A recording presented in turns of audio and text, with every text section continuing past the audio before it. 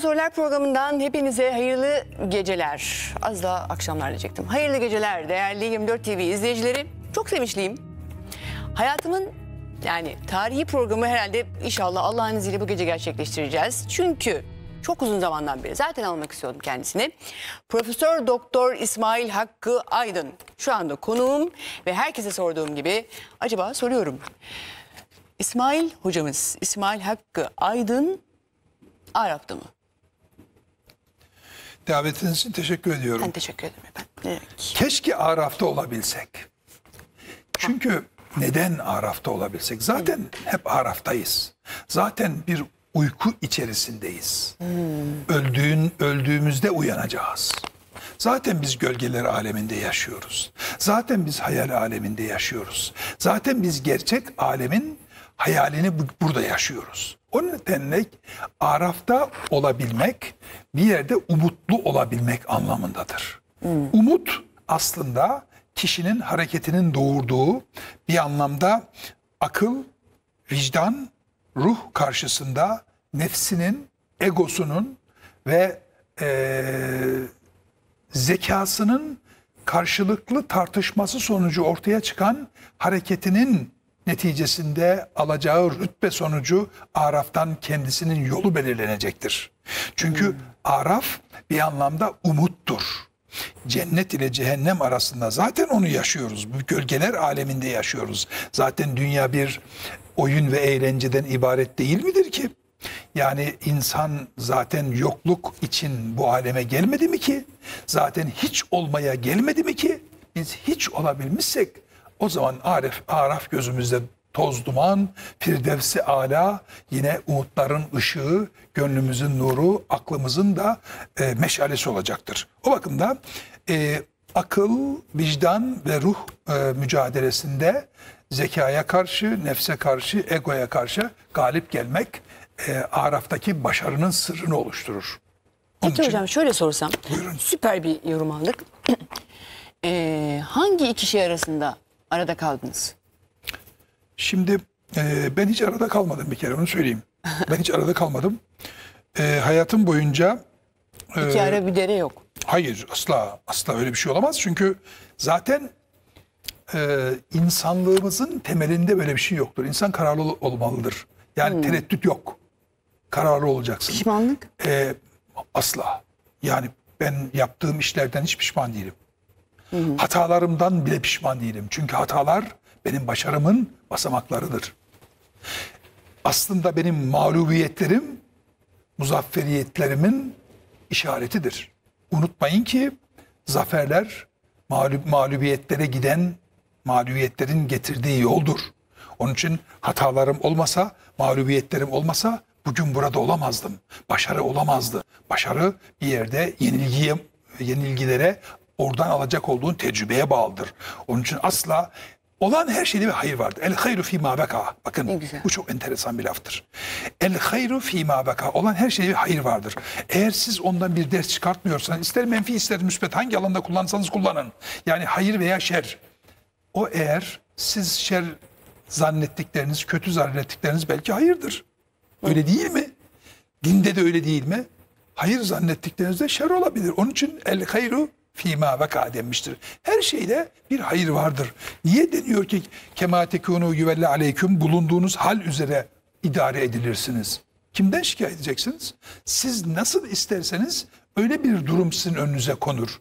Nasıl e, talep edersin, neyi istersen e, bir şekilde senin karşına gelir. Onun için ben e, e, pişmanlıklarım yoktur. Hatalarımdan çok şükür ki hata yapmışım. Çok şükür ki yanlış yapmışım. İlk yenilgi. Onlar hiç yenilmedi. Hocam hiç, olmadı. Hiç. Hayır yenilmedim. Neden yenilmedim? Ee, İlk savaş diyelim en, en büyük hep savaştayız. İlk savaş diye bir şey yok. Hep savaştayız. Bakın doğduğum andan itibaren hatta ben anne karnına düştüğüm andan itibaren savaştayım.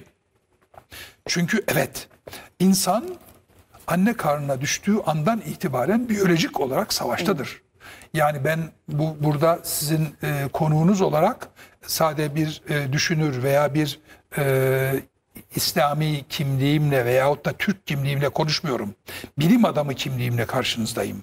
Yani bilim adamı kimliğimle konuştuğum zaman da bilim insanının dini olmaz, mezhebi olmaz, kitabı olmaz, peygamberi olmaz, kırmızı çizgisi olmaz. Tabii insan olarak hepsi vardır. O ayrı bir konu. Ama bilim insanı kimliğini olmaması lazım. Neden? O zaman bilim ilerleyemez. Anne karnına insan düştüğü anda her canlı, her canlı anne için, insan için de söylemiyorum. Her canlı anne karnına düştüğü an- andan itibaren bir savaş içerisindedir, bir gayret içerisindedir, bir emel, Hani tabe sayi bil emel lestu erda bil kesel gayeti neylüt ta- talep bir nizamin liseken şiiri var ya meşhur. Yani o açıdan baktığınız zaman da bir gayret içerisinde yani düşün ki anne karnında zigotla sperm birleşiyor. Bir anda işte 3 milyar e, DNA bazı anneden babadan geliyor. 6 milyar veya da 3 milyar çift DNA bazı birleşiyor. Bir bakıyorsun ki bölünmeye başlıyor. Bir hareket başlıyor onda. Bir gayret, bir savaş diyorsun ya savaş diyorsun. Hep savaş. Yani hayatın savaş içerisinde gayret. Koşmak durumundasın, adatmak durumundasın. Peygamber demiyor mu ki iki iki yönü birbirine eşit olan mümin bizden değildir? Oturarak bir şey olmaz. Yatmak yok. Yani oturup dil dökecek yerde gidip ter dökmelisin. Allah öyle demiyor mu? Ne kadar güzel.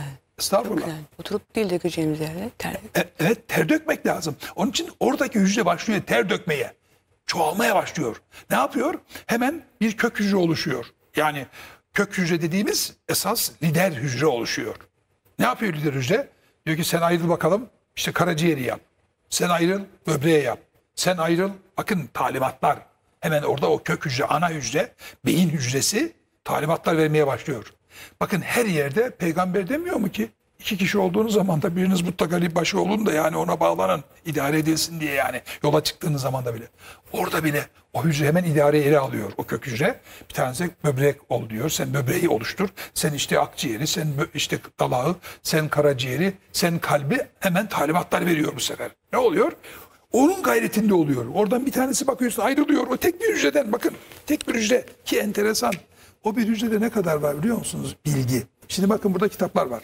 Evet. Yani bizim bizim bir insanda yani Esra Hanım ben bilim insanların inanmadığına inanmıyorum. Bak dikkat edin. Ben bilim insanlarının inanmadığına inanmıyorum. Çünkü mümkün değil. Kapı kapanıyor. Ya bir yerde tıkanıyorsun. Bir son çıkış var yani. Ya bu kesin. Yani bu, bu- bu mümkün değil. Yani Darwin bile bakın Darwin bile türlerin kökeninin eserinin 428. sayfasında der ki bir hücre bir başka hücreden, bir başka hücre öteki hücreden ama ilk hücreyi Allah yarattı der. 428. sayfasında conclusion kısmında der. Onun için bilim açısından konuştuğumuz zaman da oradaki hücre bakın bizim bir vücudumuzda 80 ila 100 trilyon hücre var. 80 ila 100 trilyon. Bir hücrede ne kadar bilgi var biliyor musunuz? Bir tek hücrede.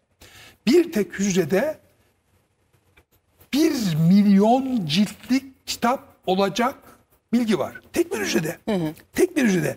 100 trilyonda ne kadar var? 100 trilyon çarpı 1 milyon ciltlik kitap ne kadarsa o kadar kitap oluşur. Ve bunlar başlıyor. Hadi bakalım diyor. Sen karaciğer yap, sen kalp yap, sen dalak yap, sen şunu yap, bunu yap.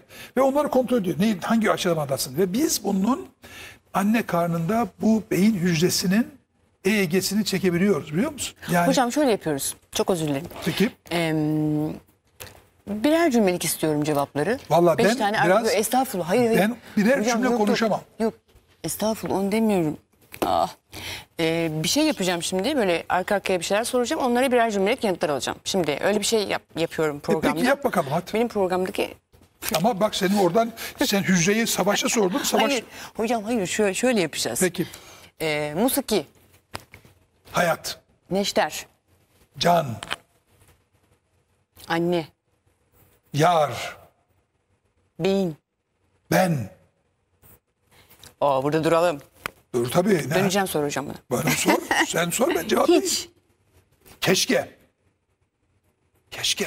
Hiç olmak var ya. Keşke. Bakın, güzel. bakın şeriat, tarikat, marifet ve hakikat. İlmel yakın, aynel yakın, hakkel yakın. Hiçlik keşke. Hani bakın bu senin Bu benim. Hem senin hem benim. Benim. Hepsi senin. Ne senin ne benim. Hiçlik makamı. Keşke. Keşke. Hiç keşke. Hekim. Hekim Tanrı'nın Allah'ın yerdeki eli. Oyuncak. Boş işler. Yani hiç- Hayat. İlk oyuncağınız neydi hocam? Hiç ben oyuncak çocuk olmadım ben. Ne oyuncağı? Bir dakika. Şimdi Hiç asıl, oyun- asıl çocuk hikayeye olmadım. giriyoruz arkadaşlar. Hiç Asıl çocuk hikayeye olmadım giriyoruz. ben. Ne oyuncağı? Kitap. Böyle şey mi İlk olur? hikaye. Hocam Asla. Bakın ben Trabzonluyum. Sahil çocuğuyum yüzme bilmem. şifa. Allah'tan. Süper. Şimdi Sor sor ben. Tek tek kelime istiyorsa vereceğim. Yani bak şifa. Allah'tan. Beyin de ne dersin sor. Buyur. Yok hocam ondan o bölümü geçtik başka. Vallahi bilemem ben. Buyurun. süper, süper gidiyoruz. Niye hocam olmadı çocukluğu? Aa, şimdi niye olmadı? Doğru. Hocam yeni başlayanlar için şöyle girelim. Yeni başlayanlar için Profesör Doktor İsmail Hakkı Aydın. Evet. Hiç İyi çocuk olmadı.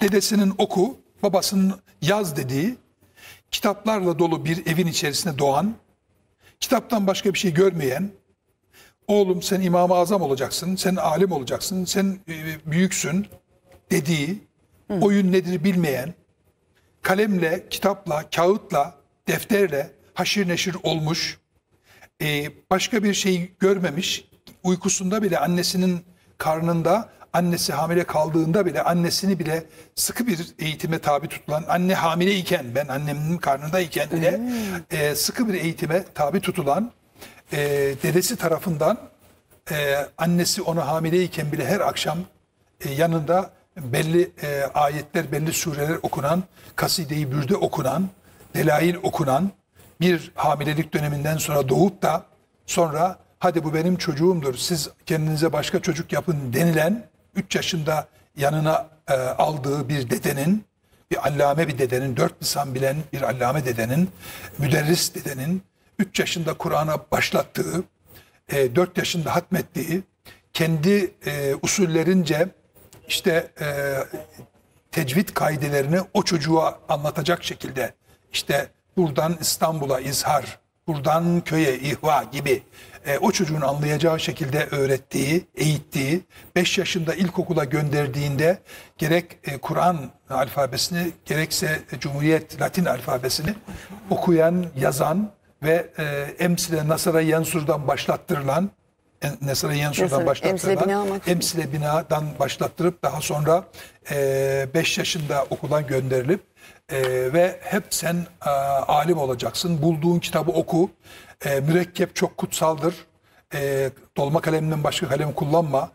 E, babası tarafından da hat üzerinde e, harflerin çok güzel yazılması üzerinde durulan e, ve e, gece gündüz e, eğitimle sıkı sıkıya e, tabi tutulan, gece uyutulduğu zaman da yine başucunda e, her akşam makamıyla birlikte kaside-i bürdeyi emin tezekkürücünün anam liselemin meceddedem ancera min mükretin kıdemi diye ok- okudu, okuduğu Hüvel habibullezi turca şefaatu li kulli havle mine ahvali muktemi diye okunduğu, okunan ve kitabı eline almadığı halde o kitabı ezbere bilen ve daha sonra onun işte vele midadun macerat min eklamil ulemai haydun min numan şuhedai fi sebillah diye ezberlettirildiği onun için de kitap kalem yani el ilmu la yuhassilu illa bi hamseti eşyain diye ezberlettirildiği ve oyun mümkün oyunun hiç esamesi okunmadığı ve e, İmam-ı Azam olacaksın Ya bunun özlemini diyerek duymadınız hocam. diye e, hayır canım ne özlem diye bir şey yok ve e, başarıların tarafından asla takdir edilmediği bakın tekrar ediyorum başarıları tarafından asla babası tarafından takdir edilmediği yani tabii ki al, almışsan tabii ki alacaksın almamak al- almaman ayıptır diye öyle bir felsefeyle yetiştirildiği ve e, özellikle 50 yıldır tıbbın içerisinde hatta biraz daha ileriye gide- gideyim tıp fakültesinde stajyer doktor iken bile dedesinin kendisine Kazı Beyzavi hatta Şehzade okuttuğu, babasının Kudür'ü okuttuğu ve 50 yıldır tıbbın içerisinde olan 40 küsur yıldır beyin ameliyatı yapan, 10 binlerce beyin ameliyatı yapan, milyonlarca e, hasta tedavi eden e, ve binlerce doktor, yarım doçent, doçent ve profesör yetiştiren e, bir İsmail Hakkı. Bu kadar kısa özetledim. Hocam neyi bilmiyorsunuz? Hiçbir şeyi. Hiçbir şey bilmiyorum. Keşke bile bilsem. Hiçbir şey bilmiyorum. Hala bilmek peşindeyim. Bakın peygamberimizin bir hadisi vardır. Evet. La yezalu raculu alimen ma talebe ilme fe izâ zanne ennehu kad alime fakat cehile. Bir insan ilim öğrenmeye devam ettiği müddetçe asla ziyanda değildir. La yezalu raculu alimen ma talebel ilme. Okuduğu müddetçe hiçbir zaman zayında değildir. Fe izâ zanne ennehu kad alime. Ne zaman ki o ya tamam işte bak ben bu işi bildim derse fakat cehile. O cehaletini ispat etmiştir. Onun için dedem bana hep oku, babam hep yaz derdi. Bakın dedem hep oku derdi. Ne bulursan, hangi kitabı bulursan oku derdi. Babam da yaz derdi. Ve babam çok disiplinli bir adamdı. Dedem tabii dedem torunla dede arasında çok e, mesafe yoktur. E, baba ile e, çocuk arasında büyük uçurum vardır, mesafe vardır. E, ben dedim ya e, bu kadar ödül aldım. Hiçbir zaman babamdan ödül almadım, teşekkür almadım, aferin almadım. Yani hep başkasından duymuştur. Yani eğer bir kez yanlış hatırlamıyorsam 1981 yılındaydı. Atatürk'ün 100. doğum yılında bir ödül almıştım bir araştırma. Beyinde bir noktanın e, tespitiyle ilgili anjiyografik serebral venöz açının konumuyla ilgili onun matematiksel koordinatlarını tespit etmiştim. Onu bir gaflete düştüm babama gönderdim ve bana telefon açtı bir fırça çekti. Ne dedi benden dedi takdir mi bekliyordun? Utanmıyor musun dedi. Tabii ki alacaksın. Almazsan sana yazık dedi ve telefonu suratıma, suratıma kapattı. Çok sor. Hala babam rahmetli olalı 10 16 sene oldu. Allah 16 rahmet yıl oldu. Hala makale yazarken, kitap yazarken onun nefesini ensemde hissederim. Onun için ilim diye bir şey, alim diye bir şey yok. Ne? Hiçbir şey bilmiyorum daha. Daha dur bakalım bu işin başındayız. Peki, bakın benim aşağı yukarı 5000'den fazla aforizmam vardır. Evet, bu burada. aforizmalarımın her biri Çok güzeller. Bakın Hocam. 5000'den fazla 5 cilt olarak çıktı. Her biri yazmak isteyip de tembelliğim yüzünden yazamadığım kitaplarımın tek cümle halindeki özetidir. Tekrar edeyim mi? Bakın 5000'den fazla aforizmam var. Her bir aforizmam yazmak isteyip de tembelliğim yüzünden, üşengeçliğimin yüzünden yazmak isteyip de yazamadığım kitaplarımın tek cümle halindeki özetidir. Hocam bu galiba yeni olan aforizmalar 5. Değil mi? Makam, mevki, rütbe, ünvan, mal, mülk, ikbal, şan ve şöhret. Bunların peşinde koşan akademisyenlerin bilim insanı değil, akademisyen bile olmaları mümkün değildir. Çok teşekkür ederim. Şimdi bakın bu bir kitap. Nasıl? Şimdi akademisyenlik başka şeydir. Bilim adamlığı başka şeydir. Yani bu- bu konuyu birazcık durayım mı bunun üzerine? Siz açtınız. Yani ben söylemedim açtınız orası geldi. Sizden çok uzaklaşmak istemiyorum hocam. Vallahi ben kendimden çok ben kendimden uzaklaş ben zaten kendimi bulabilsem mesele yok. Ben arıyorum kendimi. Konum atalım. ben kendimi arıyorum zaten. Keşke keşke beni bulabilsem. Keşke beni bulabilsem. Aslında ben yok hep sen var. Hep sen olabilirsem, hep sen olabilirsem beni bulmuş olurum. Hani var ya, der ya şair diyor ki sen sen sen ben kimim ey yağır. Ben benisem sen kimsin ey yağır. Bana o kadar yakınsın ki seni ben sandım. Sana o kadar yakınım ki beni sen sandım. O bakımdan yani burada hemdem olabilmek. Kişilik makamı bu işte. Şimdi akademisyen bakın akademisyen ile bilim insanlığı farklıdır. Akademisyen kaynak gösterir. Konuşurken kaynak gösterir. Bilim insanı. Bilim insanı kaynak olur. Çok önemli. Bakın bilim insanı kaynak olur. Benim yapmış olduğum çalışmada bu böyledir. Ahmet'in yapmış olduğu çalışmada böyledir. Ama akademisyen ise nakleder. Yani filancanın yapmış olduğu çalışmaya göre böyledir. Filanca bir araştırma yaptı. Bu hastalığın tedavisi bu şekildedir diye. Onun için o çok geniş yani eğer bir insan makam mevki peşinde koşuyorsa e, efendim ünvan peşinde koş. Dikkat ederseniz bakın benim kitaplarımda Esra Hanım hiçbirinde profesör ünvanını göremezsiniz. Evet hocam göremiyorum. Yok. Çünkü biraz megalomanlık yapayım. Ben ünvanından şeref ve haysiyet kazanan insan olmak istemem. Eğer o ünvandan ben şeref ve haysiyet kazanıyorsam bende bir şeyden bir şeylerden haysiyetten eksiklik var demektir ki ondan haysiyet kazanıyorum. Benim ünvanım benden ismimden haysiyet kazanmalıdır. Oturduğum koltuktan haysiyet kazanamam. Eğer başkasının omuzlarıyla, başkasının ünvanıyla oturduğum koltukla şeref, haysiyet ve onur kazanıyorsam o koltuk ve o ünvan benden alındığı takdirde bende ne şeref kalır ne haysiyet. Onun için kitaplarımda ünvanı kullanmıyorum. Hocam kendinize kızıyor musunuz? Çok kızıyorum. Hangi konularda? Her konuda çok Bir. tembelim. Tembelim. Evet, çok tembelim. Tembelsiniz. Ya tembelim. Evet bakın ben hocam. günde 36 saat çalışıyorum. Neden 48 saat çalışamıyorum diye kendime hırslanıyorum. Hangi özelliğinize kızarsınız mesela? Tembelliğime kızıyorum işte. Hiç kızdığım yani kızıyorum tembelim. Yani uy- yani uyku diye bir şey var. Niye niye yani uy- uyku nasıl bir şey? Ben uykuda da çalışıyorum. Aforizmalarımın çoğu uykuda çı- çıkmıştır onların. İnan gece karanlığında onları uykuda yazıyorum. Bakın Esra Hanım dünyadaki büyük buluşlar çoğu uykuda gerçekleştirilmiş biliyor musun? Bakın mesela şu anda dünyada ben size benim 1990 TÜBİTAK ödülü çalışmam vardır. Beyinde geliştirilmiş olduğu bir endüsayit anastomoz tekniği. Bunu ben o, o araştırmam bir türlü çıkmıyordu. Sonunda sonunda ben onu bir uyku yakaza halinde ameliyat yapıyorum. Ne güzel. Ama bir yerde ona konsantre olmuşsun. Bakın eğer siz isterseniz uykuda her şeyi çözersiniz. Beyin böyle bir şey. Bak beyin böyle bir şey.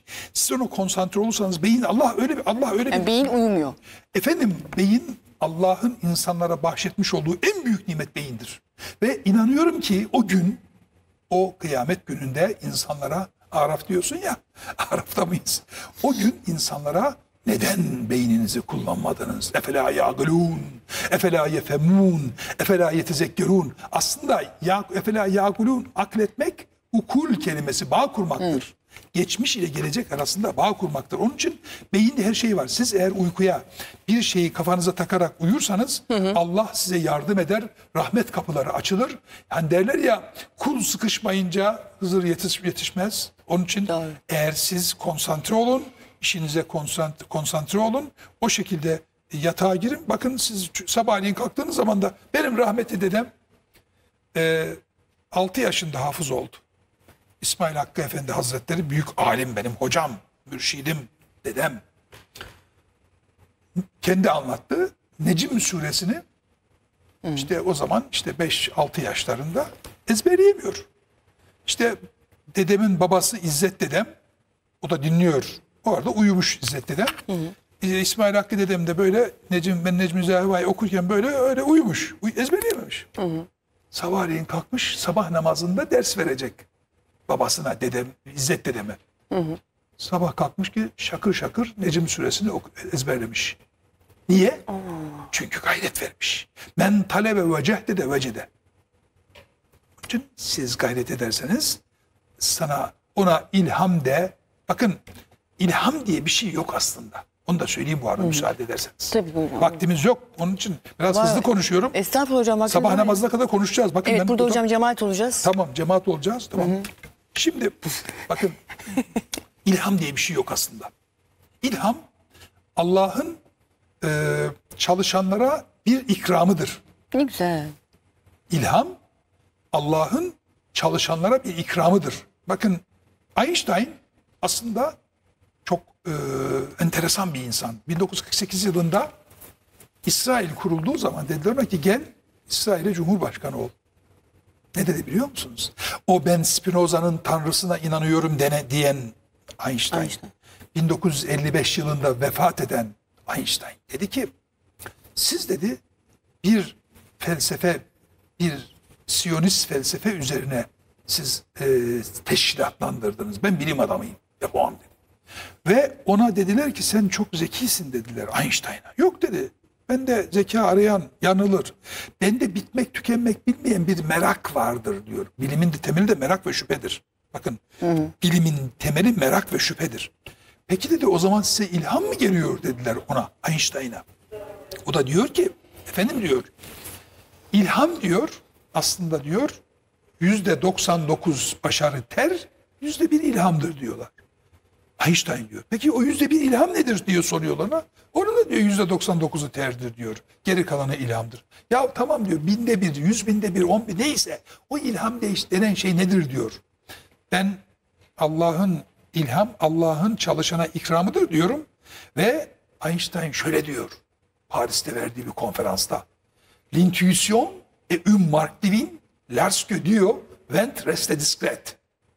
Diyor ki ilham diyor Allah'ın başarmak için gayret edip ter dökene onun o kişiye hissettirmeden yaklaşım halidir. Bakar mısın? Hissettirmeden o kişiye yaklaşım halidir. Onun için terden başka bir şey yok. Ter. Ve en leyselil insan illa masa. Necim suresi 39. ayet. Allah sizin terinize bakar. Eğer öyle olmamış olsaydı yani bu e, gayrimüslim dediğimiz, gavur dediğimiz, bilmem ne dediğimiz insanlar aç kalırlardı. Onlar Allah'ın kulları değil mi? Onlar da Allah'ın kulları. Çalışıyor. O başka bir şey. İman başka bir şey. Hani bakın Kur'an-ı Kerim, bakın Bakara suresi neyle başlıyor? Elif lam mim zalikel kitabul arabi hudellil muttaqin. Ama ellezine yu'minune bil gaybi ve yukimune salate. Önce iman. Ama diğer tarafta diyor ki Necim suresinde de diyor ki biri Kur'an'ın başından başlıyorsun, tekisi ortasında diyor ki elleyse bil insan sa'a diyor. Çalışmadan şey yok. Bakın yani bütün e, tarih boyunca e, dünyayı e, basamak atlattıran gerek medeniyet ve teknoloji ve gerekse ilim ilmi sahada e, basamak atlattıran, sıçrama yaptıran bütün çalışmalar gayret sonucu olmuştur. Yani bu bütün keşifler icat demeyeceğim keşifler var olan şeyin ortaya çıkmasıdır çünkü. E, hepsi bir ter sonucu ortaya çıkmıştır. Onun için ter kutsaldır. Allahü Teala onun için sizin sadece terinize bakar, gayretinize bakar. O bakımdan ilham da Allah'ın insanlara çalışına e, bir ikramıdır, bir lütfudur, lütfu keremidir. Onun için akletmeyi, teakkulü yarın kıyamet gününde neden akletmediniz? Teakkul kelimesi yani geçmiş ile gelecek arasında ibret almaktır bir anlamda da. Yani geçmiş ile gelecek arasında bağ, kurmaktır. Benim e, nasıl ki İslam'ın şartları var. Ben hayatın şartlarını da Kur'ani açıdan değerlendirdiğim zaman e, daha doğrusu Kur'ani bilimsel açıdan değerlendirdiğim zaman da ben bunlara 5T faktörü diyorum. Kitaplarımda var. 5T faktörü. 1. Tezekkür. 2. Tedebbür. 3. Teakkul. 4. Tefekku. 5. Tefekkür. Şimdi aa ya bunlar acaba tesbih çekmek midir? Yok değil. Değil. Ben size söyleyeyim. Tezekkür geçmişi dikkate almaktır. Zikretmek, tezekkür, geçmişi dikkate almak. Bakın bir İngiliz atasözü vardı. Dwell in the past, you will lose one eye. Forget your past, you will lose both. Diyor ki geçmişi dikkate al diyor. Tezekkür. Geçmişi dikkate al diyor. Her şeyi diyor geçmişin üzerine kurarsan bir gözünü kaybedersin. İn the past, you will lose one eye. Bir gözünü kaybedersin. Ama diyor forget your past. Eğer diyor geçmişini tamamen unutursan you will lose both. İki gözünü de kaybedersin. Neden? Ben de diyorum tezekkür. Geçmişi dikkate alacaksın. Ne oldu ne bitti ne olabilir filan. İki tedebbür. Tedebbür istikbali dışarıdan kucaklamak. Tedebbür. Peki nedir bu tedebbür? Bir anlamda istikbali şekillendirmektir. Allah da onu istiyor bizden. Ne demek şekillendirmek? Ütopya sahibi olmaktır. Yani ütopya sahibi olmak istikbali tahmin etmek değildir. Yanlış anlaşılıyor bu. Bütün maalesef İslam aleminde bu yanlış anlaşılıyor. Yani ütopya sahibi olmak istikbali arkadan kucaklayarak şekillendirmektir. Bir hayal edeceksin bir istikbal. Bakın daha onu konuşuyoruz. Daha onun kitabını yazacağız bu akşam inşallah. Onun Maşallah. üzerine konuşsak. Ben yazıyorum. Ne oluyor? Ee, ist- hayal ettiğin bir istikbali şekillendireceksin. Onun için ne gerekiyorsa onu yapacaksın. Çalışmaysa çalışma, matematikse matematik, fizikse fizik onu şey yapacaksın. Peki üçüncüsü nedir? Teakkul. İşte bakın teakkul. Efela yagulun. Yani teakkul geçmiş ile gelecek arasında bağ kuracaksın. Geçmişte yapacağı, yaptığın hataları öyle yapmayacaksın. Tekerrür ettirmeyeceksin tarihi. Yani oradaki hataları ondan ders alacaksın. Bakın siz sordunuz bana konuşmamızın başında. Hatam, hatalarım başarımdır. Hatalarım başarımdır. Ben bu sahaya, ben bu dünyaya mağlup olmaya geldim. Muzaffer olmaya değil. Çünkü esas muzaffer olmak mağlubiyettedir. Çünkü mağlubiyet tecrübedir. Tecrübe kazanıyorsun. İşte tezekkürden ders alacaksın. Teakkulle istikbali şekillendireceksin. Dördüncüsü de tefekkuh. Tefekkuh ne? Güncel problemlere çare bulmaktır. Fıkıh oradan gelir. Tefekkuh. Beşincisi Tefekkür. Hadi bakalım tefekkür ne diyeceksin? Tefekkür aslında bir siz e, Arapça eğitiminiz vardı biliyorsunuz. Tefekkere yetefekkeru tefekküren. Tefekkür etmek, fikir üretmek. Aynen hocam. Fikir Yani aslında proje ef- efkardan da gelir fikir. Efendim proje üretmektir. Proje. Yani siz eğer bu Araf'ta sorular programını yapıyorsanız ben reytingimi nasıl daha fazla yükseltirim, nasıl daha iyi bir program yapabilirim diye gece eğer e, kafanızı yastığa koyduğunuz zaman da bunu düşünüyorsanız bu tefekkürdür. Ben yarınki ameliyatı nasıl daha iyi yaparım, nasıl hastanın hastanede kalış süresini daha azaltırım, enfeksiyon riskini daha azaltırım, e, daha erken sürede hayata bunu e, kazandırırım diye gayret ediyor, düşünüyorsam, onun projesini yapıyorsam bu benim tefekkürümdür. O bakımdan tefekkür de beşincidir. Tezekkür, tedebbür, teakkul, tefekkür ve tefekkür. Hocam bir şey soracağım. Kendinize yönelik Ya iki saattir konuşuyorsun bırak da konuşalım ya. Estağfurullah hocam. O kadar güzel gidiyoruz ki yani böyle bir yerlerden böyle bir açık büfe haline Ya getirmek korkuyorum istiyorum. diyeceksin bana ki zaman bitti. Ay tamam. Hüsnü hocam. Peki hadi buyur söyle bakalım. Bu, kıya, bu iyiliğinde kıyameti sizi, unutma. sizi kendinize, e, kendi ruhunuza yaptığınız ilk ameliyat. Benim ameliyatım anne İlk karnında ameliyat. yapıldı zaten. Ah, Anne karnında zaten yapıldı o. bütün çocuklar Değil bakın anne karnında Hayır, nasıl siz yapıldı? farklı. Yani şimdi hayır siz ruhunuzda deyince yani siz orada anne karnındayken e, dedenin böyle bir eğitim e, felsefesi içerisinde eğitim e, müfredatı içerisinde oradaki çocuk zaten ruhen ameliyat edilmiştir. Şekillendirilmiştir. Ütopyası oluşturulmuştur. Sen düşün ki kitaplarla dolu bir eve doğuyorsun. Sen İmam-ı Azam olacaksın, sen alim olacaksın, sen çocuk değilsin, sen büyüksün. Böyle bir böyle bir çocuğun başka bir şansı yok. Hani Almanların Einbahnstraße dedikleri tek yönlü yol. One way yani tek yönlü yol başka çıkar yolun yok. Her taraf kitap. Annenin elinde kitap, babanın elinde kitap, dedenin elinde kitap, kalem, kitap, defter başka şeyin yok.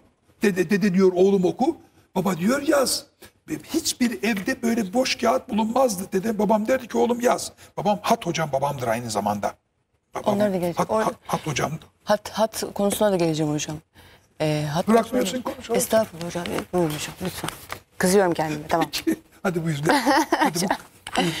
Hazır açmışken hocam kitabı. buyur. Problem yaşamakta veya ölmekte değil. Esas problem çok güzel. Asıl gol burada geliyor. Yaralanıp öylece kalmakta. Yaralı mısınız hocam siz? yaralı olmayan yaşamıyor demektir. Hayat yaralı olmaktır. Yara insanı bakın En sadık yaranız kim? en sadık Yaranız. en sadık yaram bilgi. Bilim. Benim hep sorarlar bana. Efendim sizin hangi bahçenin gülüsün? Biliyorsun böyle bir tabir vardır. Hangi bağın gülü sen? Benim dinim İslam.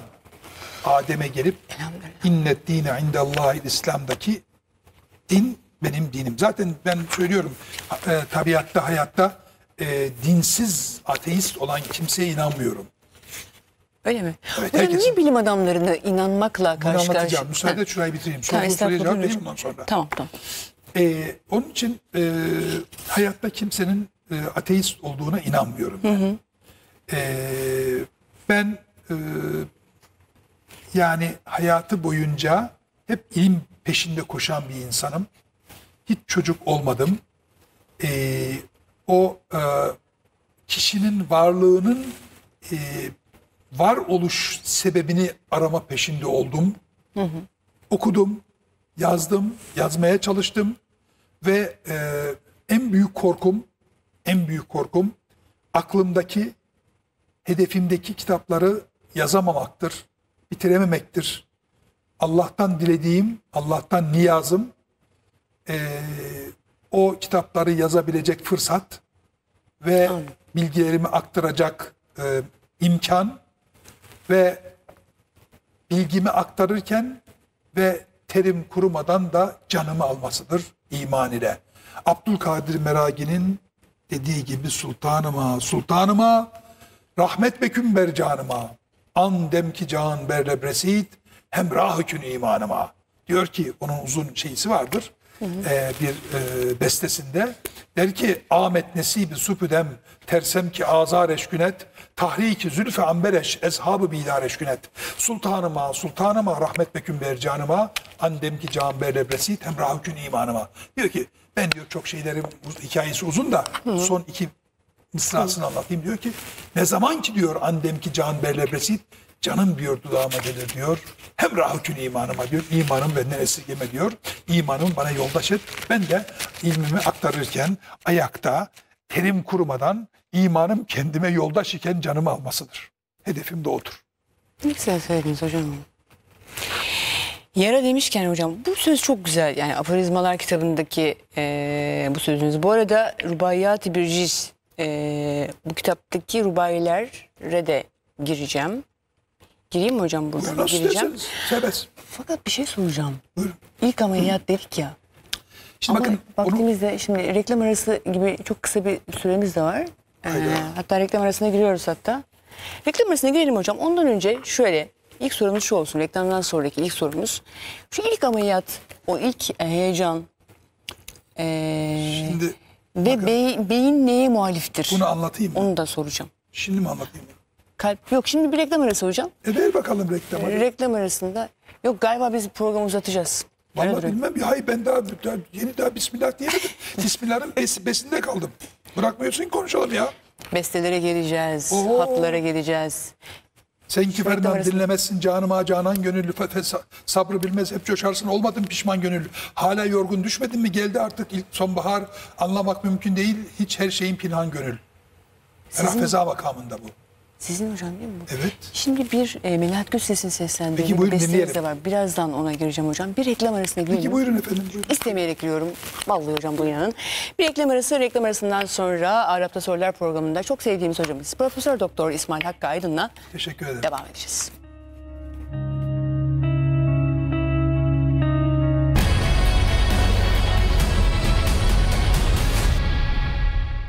Arap'ta Sorular programındayız. Çok sevdiğimiz hocamız, mükemmel gidiyoruz. Profesör Doktor İsmail Hakkı Aydın'la Arap'ta Sorular programımıza devam ediyoruz. Hocam nerede kalmış? İlk ameliyattan bahset. İnsan niye unutur? Aa insan unutmaz. İnsan unutur, beyin unutmaz. Yani unutmak aslında yani hafızayı beşer nisyan ne malüldür derinir ama aslında unutan insanın kendisi beyin unutmaz. Beyinde her şey var. Unutmak, unutmamak, unutmamak için ben size birkaç e, izleyicilerimize e, madde söyleyeyim. Bir, Süper. çok oku. Çok oku, İki, çok yaz. çok yaz. çok anlat ve ezberle. Yani okuyacaksın, anlayacaksın. Okumak öyle okuyup geçmek değil, anlayacaksın. Öğrenmek de değil bakın. O da enteresan. Oku. Anlayarak, öğrenerek anla. Anlamak önemli. Bakın anlamak öğrenmek, anlamak. Yani ilim kelimesinden gelir. Hayrun nas men teallemel ilme ve men alleme. İnsanların en hayırlısı ilmi öğrenen ve öğretendir. Kur'an'da da Muhammed suresinin 19. ayetinde de der ki fe'alem ennehu la ilahe illallah. Hep öğrenmek. Önce okuyacaksın. İkra bismi rabbikellezi halak gibi. Oku. Ama anlayarak oku, öğrenerek oku ve kendinin benliğine hissettir onu. Kendinden olsun. Yani unutuyorsa o senin değildir. İkincisi okuyacaksın, anlatacaksın bir defa. Bakın bu da önemli. Yani başkasına aktaracaksın. Bir İngiliz atasözü vardır. The best learning with the teaching. En iyi öğrenme öğretmek de, öğretmektedir. Süper. Yani e, hayrun nas men teallemel ilme ve alleme diyoruz ya. O da öyle. Onun için bildiğini kendine saklamayacaksın, aktaracaksın. Bakın o da enteresan. Bildiğini sakın ha bu benimdir kimse bilmesin. Ben ben bunu sadece ben bileyim. Olmaz. Cerrahide de öyledir. Tıpta da öyledir. Yani bu ben hoca ben o yılların hocasıyım ben yani sonuçta. E, aman ya ben bu ameliyatı kimse bilmesin ben kim gizli yapıp olmaz. Öğreteceksin bunu. Demek ki birincisi okuyacaksın. Anlayarak okuyacaksın. Öğrenmek yetmez, anlayarak okuyacaksın. Ne demektir? Ben size bir beyin ameliyatını 12-13 yaşındaki bir çocuğa bir beyin ameliyatını anlatıp ona öğretemiyorsam ben o işi öğrenememişim demektir. Hangi şey olursa olsun 12-13 yaşındaki bir çocuğa onu anlatıp da ona öğretebiliyorsam onu öğrenmişim demektir. Onun için o- öyle okumak, anlamak, sonra aynı şekilde anlatmak, aktaracaksın. Aktaracaksın. Üçüncüsü nedir? Yazacaksın. Ya çünkü parmakların da hafızası var. Kalemin hafızası var. Kağıdın hafızası var. kalemin kalemden boşalan mürekkep kalem ile kağıt arasındaki aşkın gözyaşlarıdır. Beynin de hafızası var, kalemin de hafızası var, kağıdın da hafızası var, parmakların da hafızası var. O bilgiyi kağıda aktaracaksın ki o aşk kalemin gözyaşları olan mürekkeple birlikte o kağıda nakşetsin, kağıdın kalbinde kalsın. Hani Namık Kemal'e demişler ya adın nedir diye demiş ki Gülün kalbi pakine bir kadrema düşünce yazılır ismim Hulusi Ervakine. Yani Kemal, Kaf, Mim, Lam, Lam Elif ve Mim Kemal diye yazılır. Orada diyor ki bir katre ma düşünce gülün kaf ve lam ortasına bir ma düşünce kemal olur. Şimdi orada bilgini kağıda aktarırsan kalemin gözyaşıyla, aşk gözyaşıyla yani aşkla yazacaksın. Ya bunu yazayım geçsin diye bir şey yok. Bütün güzelliğini oraya vereceksin ve o zaman o aşkı kağıt kendi içinde saklar. Aynen beyin de o bilgiyi bir aşk gibi kendi kalbinde sakladığı gibi. Üçüncüsü nedir? Ezber yapacaksın. Onun için oku. Tek kelimeyle oku. Anlat. Yaz. Ezberle. Onun için biri, beyin hiçbir şey unutmaz. Hocam unutmak istiyorsak Unutmak Allah bakın şunu da söyleyeyim size. Allah'ın insanlara bahşetmiş olduğu üç büyük nimet vardır. Dedik beyin unutmaz. Ama insanların hafızayı beşer nisyan ile malüldür diyoruz ya. evet hocam. Ee, üç büyük nimet vardır. Bir, ağrı. Ağrı büyük nimet.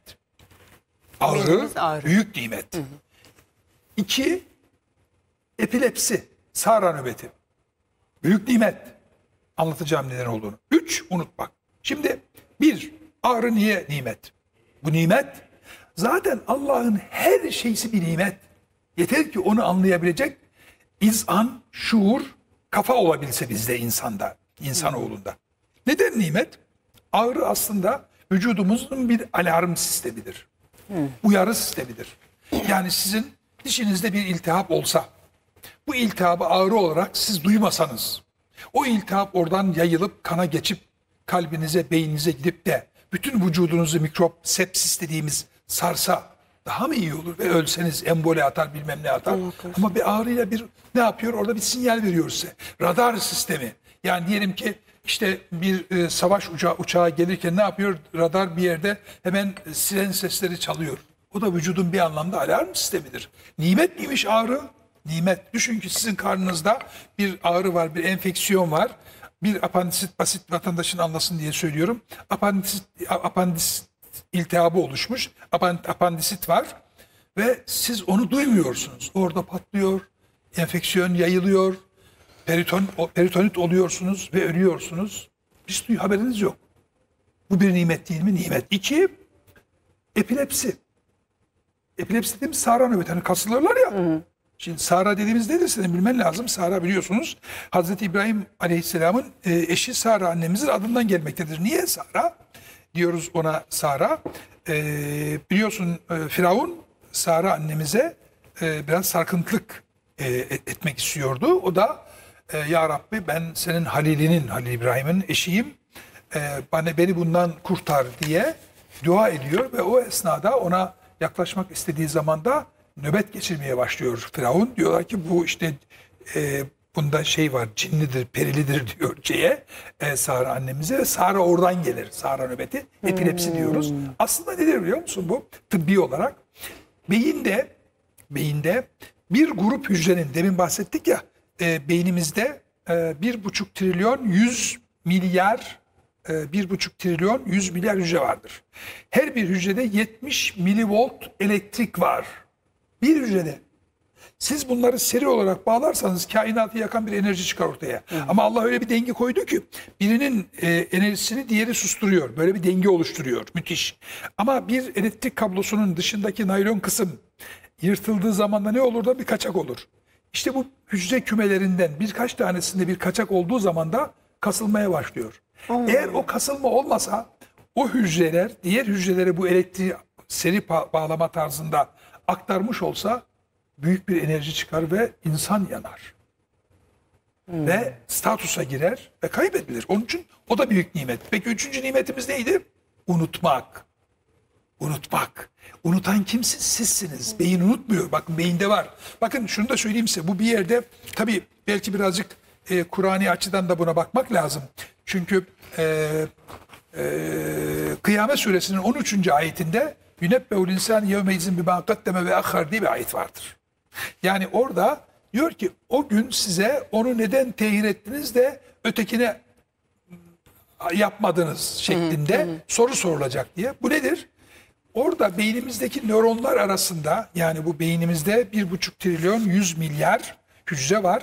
Bir 100 milyar nöronun kendi aralarında e, 16 nanometre genişliğinde 90 nanometre uzunluğunda Evet hocam. tüpler var.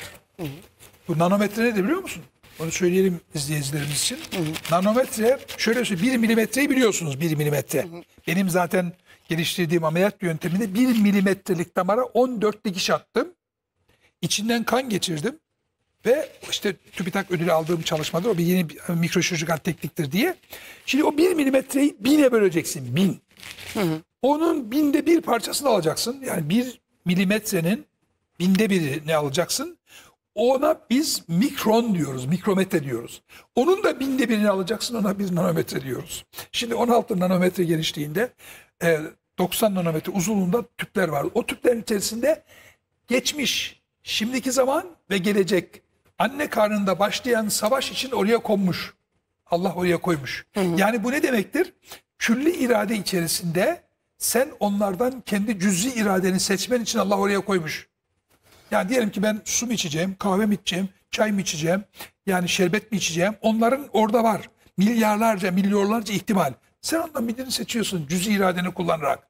Bunu bulan insan Stuart Homerov, benim arkadaşım. Doktor Stuart Homerov ve geçen evvelki sene Nobel ödülü alan Roger Penrose 90 yaşında Nobel ödülü aldı. O nanotüpler arasındaki şimdi orada siz eğer onlardan hangisini seçerseniz kendi iradenle mesuliyet oradan çıkıyor zaten. Yani bakın eee Yünebbeul insanı yevme izin bime kaddeme ve akhar. Ayet diyor bunu Kıyamet suresinde. Hatta mesela e, Farabi ve İbn Sina Allah küllü bilir, cüzü bilmez dediği için Gazali tarafından tekfir edilmiştir. Yani e, Farabi ve Gazali aslında üç şeyden dolayı tekfir edilmiş. Bir tanesi e, işte Allah küllü bilir, cüzü bilmez de- demesinden. İkincisi zaman ezelidir dedi, zaman yaratılmamıştır dedi. Bir de e, yaratılış, tekrar diriliş sade ruhani olacaktır, e, bedeni olmayacaktır demesinden kaynaklanmıştır. İşte o tüpler içerisinde, o nano tüpler içerisinde geçmiş, şimdiki zaman ve gelecek. Bakın gelecek. Allah geleceği bilmiyor mu? Haşa tabii ki biliyor. Her şeyi biliyor. Onu kaydetmiş. Sen oradan seçiyorsun. Seçim sana aittir. Ha eğer sen orada tabii ki insanın hayatında bir takım maddi hayatında yani bu alemde biz zaten rüya içerisindeyiz. Ayette demiyor mu ki bu ale- alem o- o- oyun ve e, laibun ve lehun diyor ya. Aynı şekilde peygamberimiz demiyor mu ki biz bu alemde uykudayız. Uya, e, ölünce uyanacağız. Yani e, aynı şeyi Eflatun söylemiyor mu? Cumhuriyet Fezli ve Devlet adlı eserinde. O da söylüyor onu. E, Aristo'nun metafiziğinde de vardır. Farabi'de de söylüyor. İslam e, düşüncesinde de bu vardır. Tasavvufi alemde de bu vardır zaten. O bakımdan e, orada sizin geçirmiş olduğunuz bu rüya aleminde ki bu rüya aleminde Metaverse'i yazdım ben. Metaverse Burada hocam. olması lazım. Metaverse'i yazdım. Metaverse bir anlamda iradi rüyadır. Ama bu bizim bu alemde evet bu alemde e, e, iradi savaşımızın var olduğu iradi bir savaştayız şu anda. Dedik ki anne karnında başlayan. O savaşta bir takım acılarımız vardır. Bir takım yaralarımız vardır.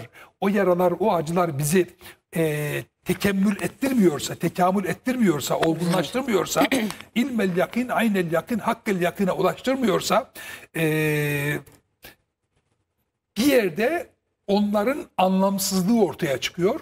İnsan olma- olmanın anlamı bir anlamda onlardan, o yaralardan da e, ders alabilmektir. Onları unutabilmek, unutmanın yerine yeni şeyler koyabilmektir. Ne güzel söylediniz hocam. Peki hocam eee, mesela kötülük bunu daha e, tecessüm etmiş hali diyelim ki şeytan. Şeytan insanda neyi sever? Yani insanın şey ya da şöyle söyleyelim. Şeytanın çalışma ofisi e, insanın kalbi midir? Hayır beyindir. Yoksa Hayır Beyni değil, midir? gönüldür. Bakın o da şöyle onu da Beyin. söyleyeyim size bakın. Ee, güzel bir soru bu aslında. Bu, bu felsefi bir konu. Bu sabaha kadar bunu konuşacağız o zaman. Tamam. Bakın şimdi e, şeytan Hocam biliyorsunuz. son bir dakikamız bu yayınımız. Nasıl?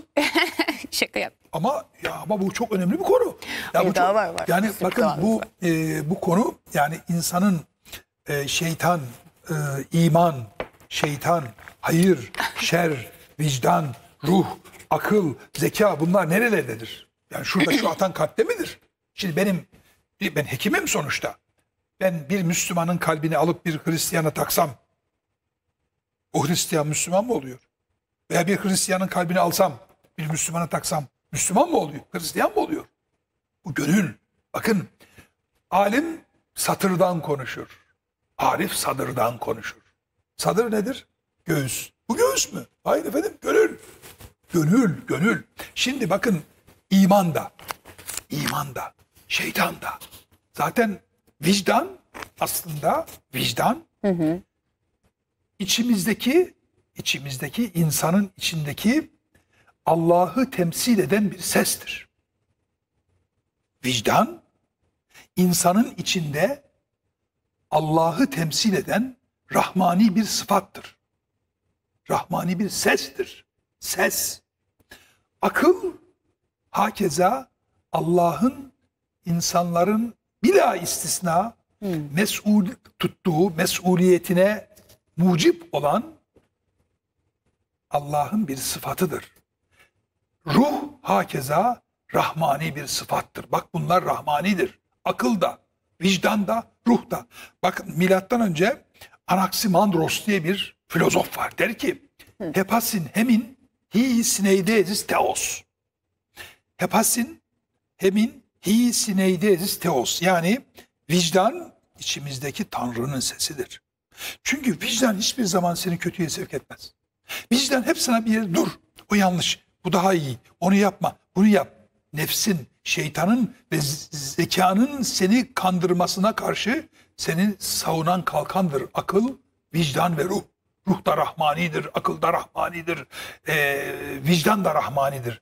Bir hata yaptığın zaman da veyahut da bir hareket yaptıktan sonra akşam eve döndüğü zaman da eee, pişmanlık duyduğunda ya uyduk nefsi emmareye demiyor musunuz?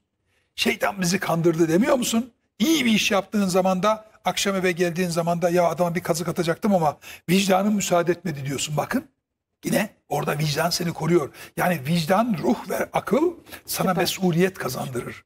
Mesuliyette mesuliyette mecburiyet yoktur. Mecburiyette de mesuliyet yoktur. Tekrar ediyorum. Mesuliyette mecburiyet yoktur. Mecburiyet yoktur. Mecburiyette de mesuliyet yoktur.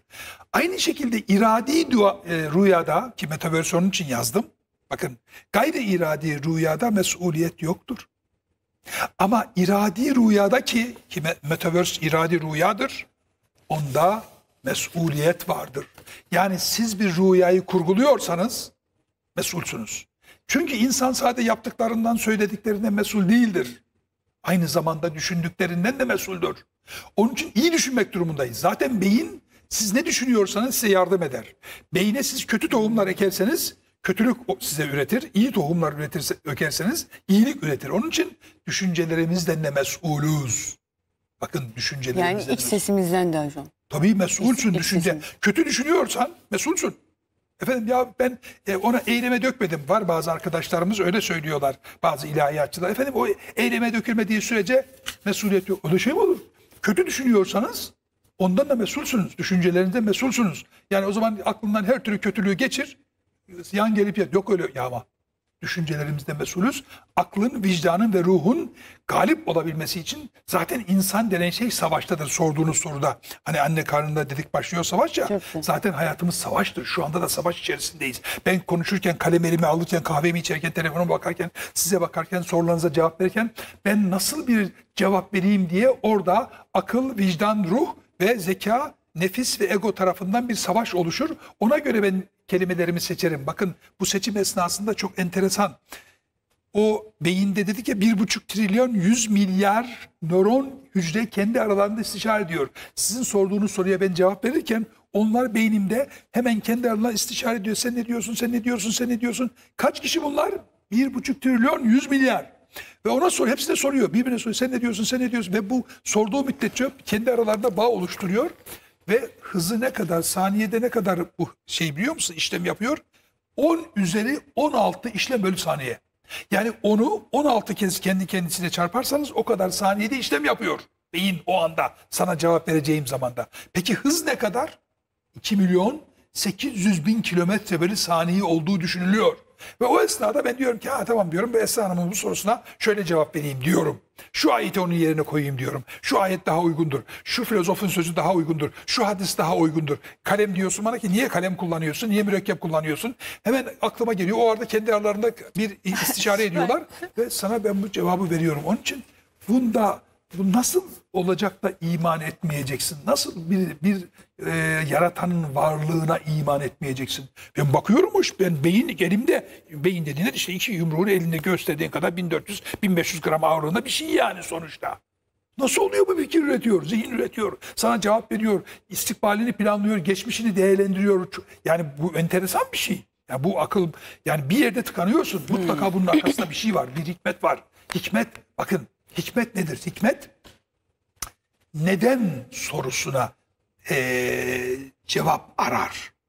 Nasıla değil. Hikmet. Hikmet başka şeydir. İrfan başka şeydir. Kur'an başka şeydir.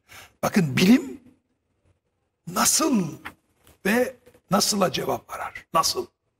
Ama hikmet dedik ki hikmet. Hikmet neden sorusuna cevap arar. İnsan neden yaratılmıştır? Bu ilmin konusu değildir. Yaratılmış yaratılmış. Ama bunu hikmet arar. Allahu Teala insanı neden yarattı?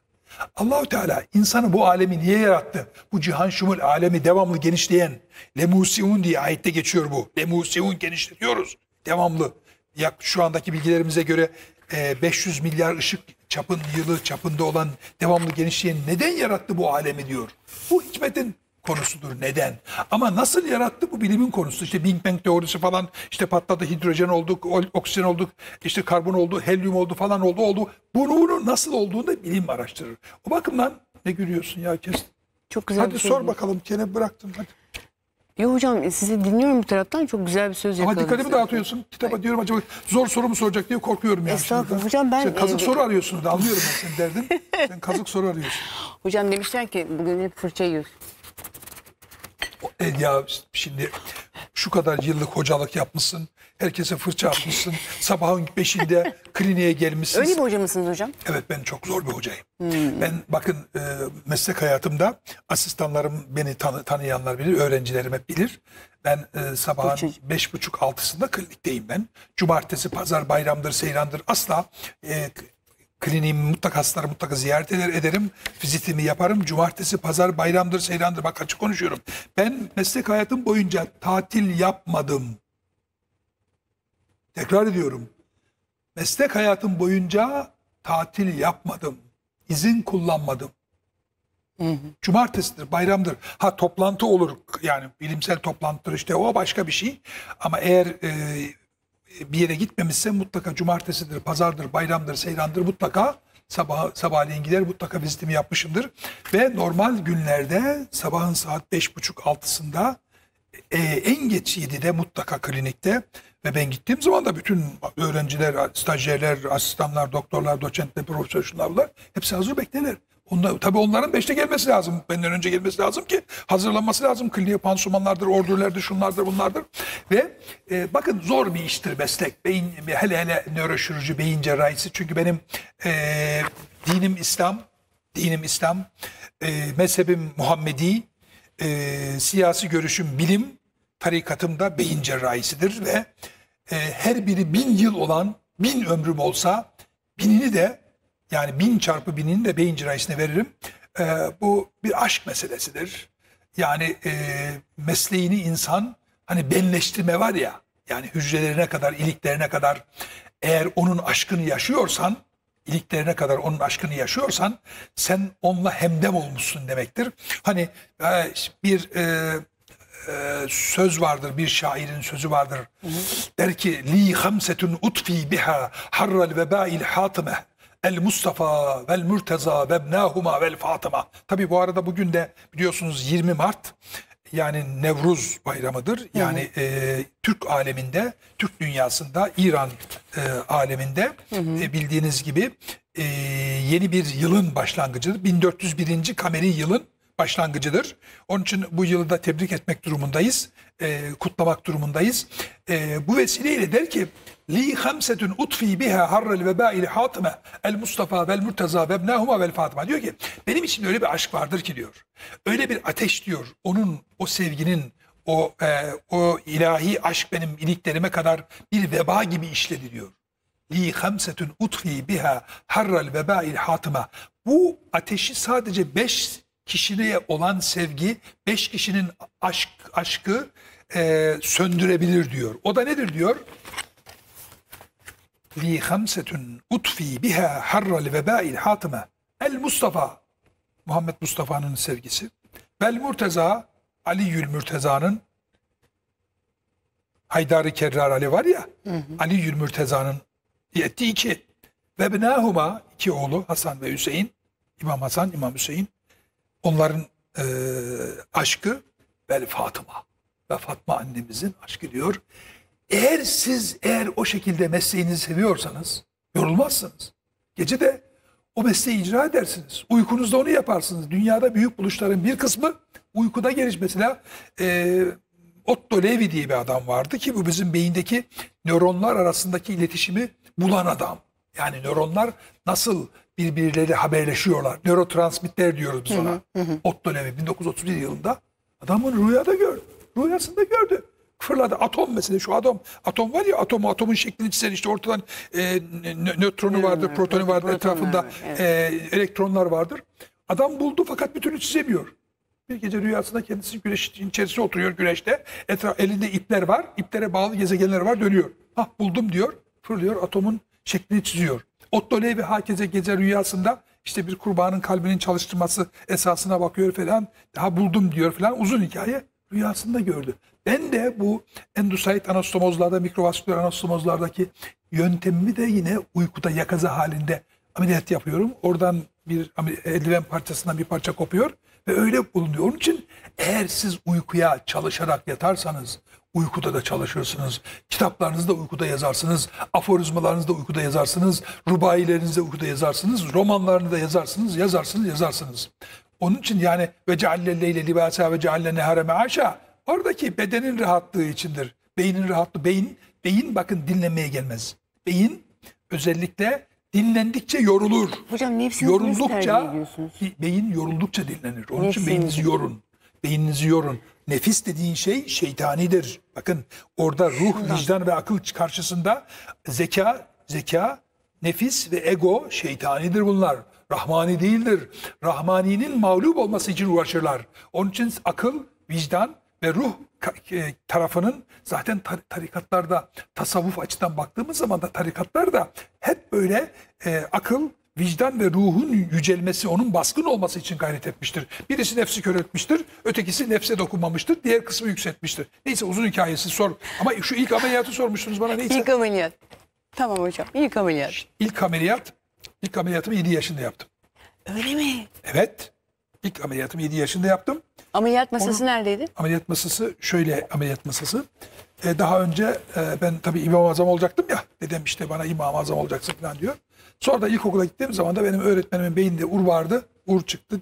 Dediler ki işte onu e, ameliyat edecek olan beyin cerrahı yok. Onu kitaplarımda yazdım uzun hikaye. Vaktimizi onunla beraber Hayır, almayalım. güzel, Kısa güzel. keseceğim. Çok güzel hocam. Kısa devam keseceğim. Edelim. Devam edelim hocam. Evet. Anlatayım mı? Anlatın hocam. Ama vaktimiz neyse peki. Ee, öğretmenin beyinde ur çıktı. Dediler ki e, beni çok seviyordu. İşte tabii o zaman bizim sınıfta evli çocuklar vardı. Yani ben 5 yaşında ilkokula gittim ama o zaman babam işte e, müftü. Şehirde almadılar beni. Köyde dedem yazdırdı, kaydettirdi. Nerede hocam? Trabzon. Trabzon tabii Kaynarca köyünde Limli o zaman eski ismi Limli köyde orada yazdırdı. Tek bir sınıf içerisinde 1 2 3 4 5 aynı sınıfta okuyoruz. Ben 5 yani 5 yaşındayım Ee, ama e, bizim sınıfta evli çocuklar var. Öyle o zaman. Gerçekten. E, tabii o zaman öyle. Ondan sonra 5. sınıfta bir soru sordu. Hoca e, sordu bilemediler. Ben parmak kaldırdım. Biliyor musun dediler. Neyse aldı beni götürdü falan. Beni onur etti falan. Sonra başım ağrıyor başım ağrıyor derdirdi hoca. Ondan sonra dediler ki Hoca ölecek. e, işte Türkiye'de onu ameliyat edecek beyin cerrahı yok. Ben de dedim ki ben beyin cerrahı olacağım. Hocamı ameliyat edeceğim dedim. Böyle dedim dedim dedim. dedim. Ben İmam-ı Azam İmam-ı Azam olmayacağım dedim. Niye dedi? Ben dedim e, hocayı dedim ameliyat edeceğim. iyileştireceğim onu. Oğlum sen de hele bir doktor ol da bakalım dedi, dedi bana. Ve, ama şimdi beyin cerrahı olacağız. Kafa kesmek lazım. Düşündük nasıl yapacağız bu işi yani 5 yaşındaki çocuk.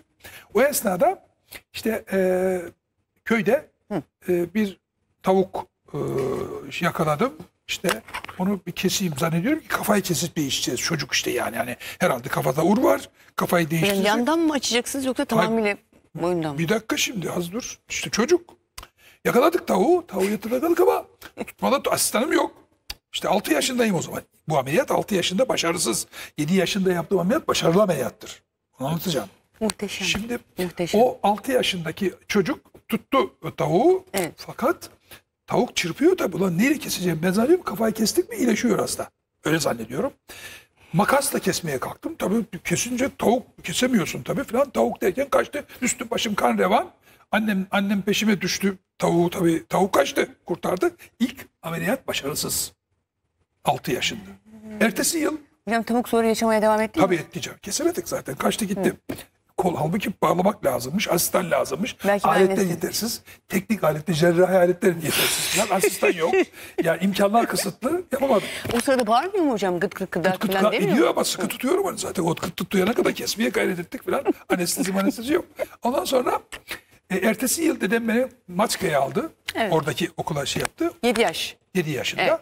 Orada e, komşumuz vardı İlve teyze. Allah rahmet eylesin. Allah İlve rahmet teyze. İlve teyze bir gün dedi bana ki İsmail Hakkı dedi bizim tavuk dedi iğne yuttu dedi. Onu ameliyat edebilir misin? Ederim dedim ama fırsat çıktı. Yani asistan da var İlve teyze. E, fırıncı Salih amcanın Salih Aytaç'ın hanımı bizim e, komşumuz. Hemen e, kapıda hemen kapıda bir ağaç var oradanın altında. Nasıl yuttu diye sordum. Bakın hekimlik orada. Nasıl yuttu? Yani işte o bir şey dikerken orada e, tavuk da yanında bir şeyler e, şey yapıyormuş, topluyormuş. O arada iğne düşmüş yere. O da iğnenin e, ip, ipliğini ağzına almış tavuk. Derken yutarak iğneyi de yutmuş. O zaman düşündüm ki kursağında olur. Şimdi düşünüyorum doğru yapmışım. Ama tecrübem var. Birinci ameliyat başarısız oldu. Dedim asistan yokluğundan. Dedim ki sen dedim İlve teyze Allah rahmet tut bakalım şu tavuğu iyi sıkıca. Tutturdum. Bana bir jilet getir dedim. Makasla olmuyor. Tecrübe kazandık yani. Makasla kesmeye kalktık birinci ameliyatta başarısız. Ve e, jilet getirdi bana. Jiletle kestim kursağını. Çıkardım. İğneyi çıkardım. ipliği çıkardım. O iğneyi temizledim kursağını ve iğneyle diktim onu. E çıkardığınız iğne iplikle oraya diktiniz. Orayı diktim evet. Muhteşem. Bak bugün bakıyorum ki doğru yapmışım yani dikine geçmişim. İlk dikiş aslında orada hocam değil mi? Aynı zamanda dikiş dikmeyi de. Tabii tabii diktim. Ama yorgan gibi diktim böyle. Çocuk işte. Diktim ama iyileşti. Ve sonra tavuğun yumurtları bana gelmeye başladı tabii İlve teyze. Ama aradan zaman geçti işin enteresan tarafı. Bakın Esra Hanım. Her şeyde bir hayır var. El hayru fîmâ beka. Aradan yıllar geçti. Ben işte o 7 yaşındayım. Bak aradan zaman geçti. İşte orada ortaokul. Tabii Trabzon'a gittim orada. Ortaokulda Trabzon'da. 10 yaşında Trabzon'dayım. O da ayrı bir hikaye, uzun hikaye o. Orada bir baktım bir çocuk gördüm e, kitap evi, akademik kitap evinde. Dedi, de, tanımadım böyle uzun boylu, kıvırcık saçlı, gözlüklü bir çocuk. Kim bu dedim. Dediler ki bu üniversite asistan. O zaman Trabzon'da KTÜ yeni açılmış. Karadeniz Teknik Üniversitesi. Asistan ne demek dedim. Dediler ki bu büyük adam olacak, profesör olacak. Profesör ne demek dediler. Dedi çok büyük. Tamam dedim o zaman ben de profesör olacağım ve bütün defterlerimin, kitapların üzerine o zaman Profesör Doktor İsmail Hakkı Aydın yazmaya başladım 10 yaşında. O defterlerim hala durur. Onun için bunlara yazmıyorum artık. Keşke profesör. getirseydiniz hocam. Ee, keşke. Ondan sonra ondan sonra biz e, tabii e, fakülteden sonra işte bey yurt dışı işte Çapa Tıp Fakültesi, Beyin Cerrahisi Kliniği bilmem ne. İsviçre, e, Zürih Üniversitesi derken filan döndük. Atatürk Üniversitesi Beyin Cerrahisi kürsü başkanı oldum. Orayı kurdum filan derken imtihan yaptık. Asistan bu TUS öncesi biz yapıyorduk imtihanları. İmtihan yaptık. Sonra asistanlar başladı. Birisi dedim sen nerelisin dedim. Dedi ki Trabzonlu. Neresinden filan. E dedim sen filancayı tanıyor musun? İlve teyze. İlve teyzenin torunu çıktı. Tavuk. Tavuk iyileşti canım. Tavuk iyileşti. O ben dediğim bu aradan yıllar sonra. Yıllar sonra İlve teyzenin torunu da asistanım oldu sonradan. Ee, Sonra onu işte uzman yaptık, doçent yaptık, profesör yaptık. Şimdi emekli profesör doktor Çetin Refik Kayıoğlu. Beyin cerrahisi profesörü. İlve teyzenin torunu. İlk asistanım İlve teyzeydi. Yine asistanım, onun da torunu gene asistanım oldu. Velhasıl gene ilk ameliyatım 7 yaşında başarılı oldu. Başarılı oldu ve bunu kitaplarımda yazdım. O bakımdan e, tabii e, şunu söyleyeyim. E, sevmek dedim mi aşk. Eşk. Esas eşk. aşk. Hani Sine hahem şerha şerha azfirak ta beguyem şerhi derdi iştiyak.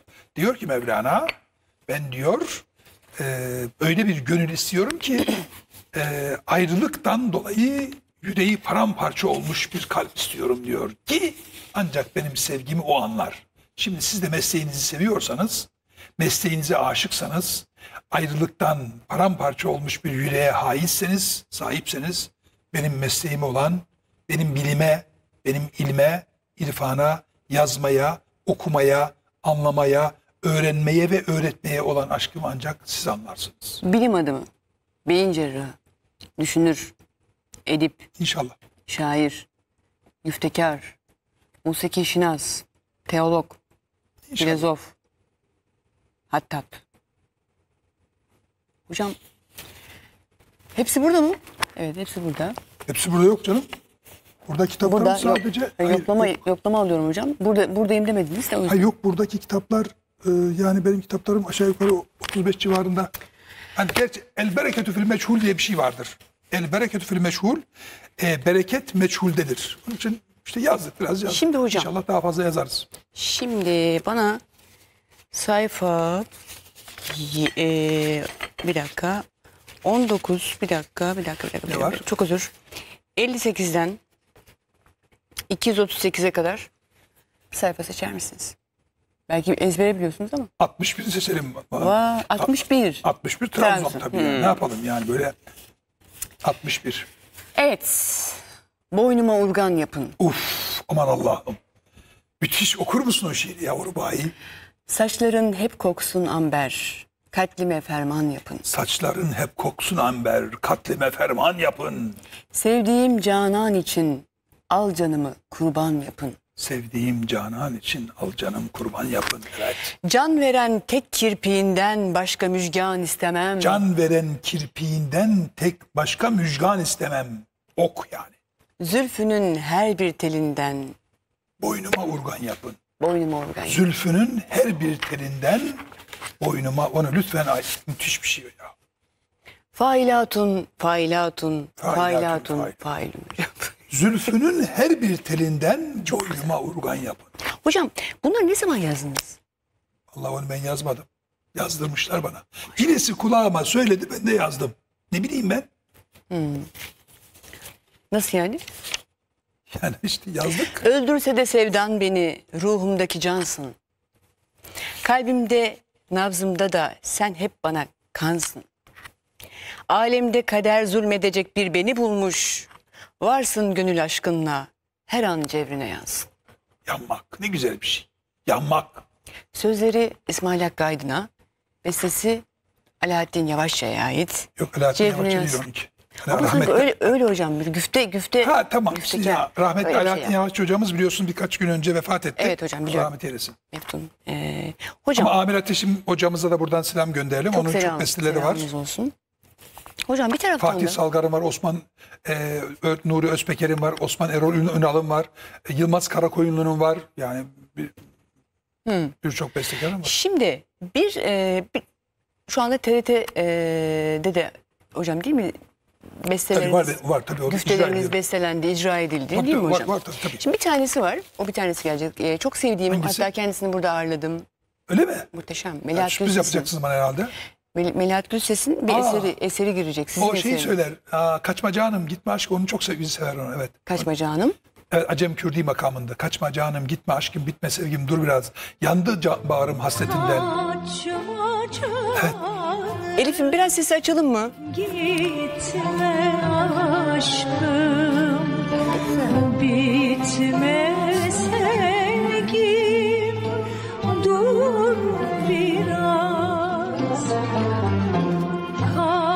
kaçma canım gitme aşkım Şu anda yeni e, güfteniz var mı hocam mesela? Yeni yeni son. sevgim Hangisi hocam?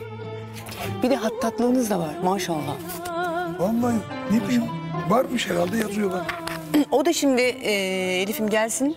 Onunla bir üzerine konuşmak istiyorum. Çünkü orada hattat üzerinde hocam yeni bir teknik geliştirdiniz. Yani teknik değil. Yani o bir e, hangisini koydunuz bakayım? Gelsin. Bakayım. Bakalım Arap'ta soru. Evet bakalım. Evet bu da güzel. Bunu da seviyoruz ama e, hocam işte köprü hani hattatlık oradan herhalde arkadaşlar bir şey. Yalnız şunda o köprü çıktı oraya. 1973 yılında onu da söyleyeyim o yok o eser yok yanımda. 1973 yılında Boğaz Köprüsü'nün açılışında ben e, Celi İstif bir besmele yazmıştım. Boğaz Köprüsü şeklinde Diyanet İşleri Başkanı o zamanki Diyanet İşleri Başkanı Doktor Lütfü Doğan Beyefendi'ye merhum. Allah rahmet eylesin. Allah rahmet Ona eylesin. e, Diyanet İşleri Başkanlığı'na hediye etmiştim. Celi İstif bir besmele Boğaz Köprüsü'nün açılış gününde e, Boğaz Köprüsü şeklinde besmele. O herhalde yok herhalde o bende yok çünkü o. Başka Şimdi gelecek hocam. e, size e, Elif'e göndermiştik. O şimdi gelir. Peki hocam. e, bu rub- rubaiyatı bir ciz. Tamam. Bircis benim şöyle söyleyeyim. Bircis onu benim, soracağım. Bircis benim müstahar ismimdir aslında. Ee, hemen onu ifade edeyim. Anne karnına ben anne karnında e, savaşımı sürdürürken Evet hocam. e, dedem benim ismini kendi ismini bana verdi. İsmail Hakkı olarak verdi. Fakat rahmetli babam babasının adı İsmail Hakkı olduğu için bana İsmail Hakkı demekten imtina ve edeple dolayı bana Bircis. Bircis e, gökteki yıldızlardan Jüpiter'in ismidir. Yani Jüpiter biliyorsun Yunan mitolojisinde bir tanrı ismidir. Zeus. Biliyorum hocam.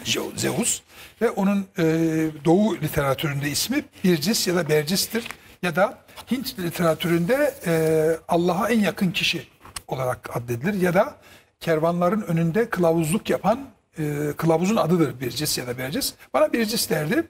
E, o bakımdan e, Bircis benim müstahar adımdır. Ben de onu torunuma Ahmet Bircis ona verdim. Torunum da e, Bilkent Üniversitesi elektrik elektronikte okuyor. Ne güzel selam Ee, olsun.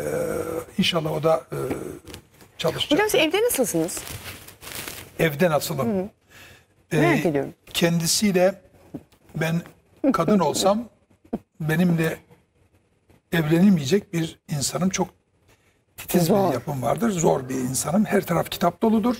Aa bu besmele evet bu besmele benim. Maşallah. Evet, 1977'de yazdığım bir besmeledir bu. Ben e, Hendesi Küfi daha fazla yazıyorum Hendesi Küfi ama bu sülüs istiti bu şey bana aittir. Bu ufkuilik vardır burada. Ben yani sülüs biraz da istiflik vardır burada. 1977. 77. O taraftaki imzam da benim yani hat imzamdır. Şuradaki İsmail hocam Hakkı. değil, şurada evet, görüyorum, evet. Evet bu sol tarafta İsmail Hakkı oradaki Evet, 1977. Bu benim e, sülüs istif bir besmelem. Birazcık daha yüksek olması lazım çünkü o görüntüden biraz şey yapmış basık çıkmış ama e, o benim e, besmelemdir ki bu e, yani e, 1977 e, tabi aynalı yazılarım da var, e, talik yazım da var, talik var, rika var, sülüs var, işte hendesi küfi var, küfi var ama e, bu kapak dolmuştu daha sonra bu dergiye kapak dolmuştur.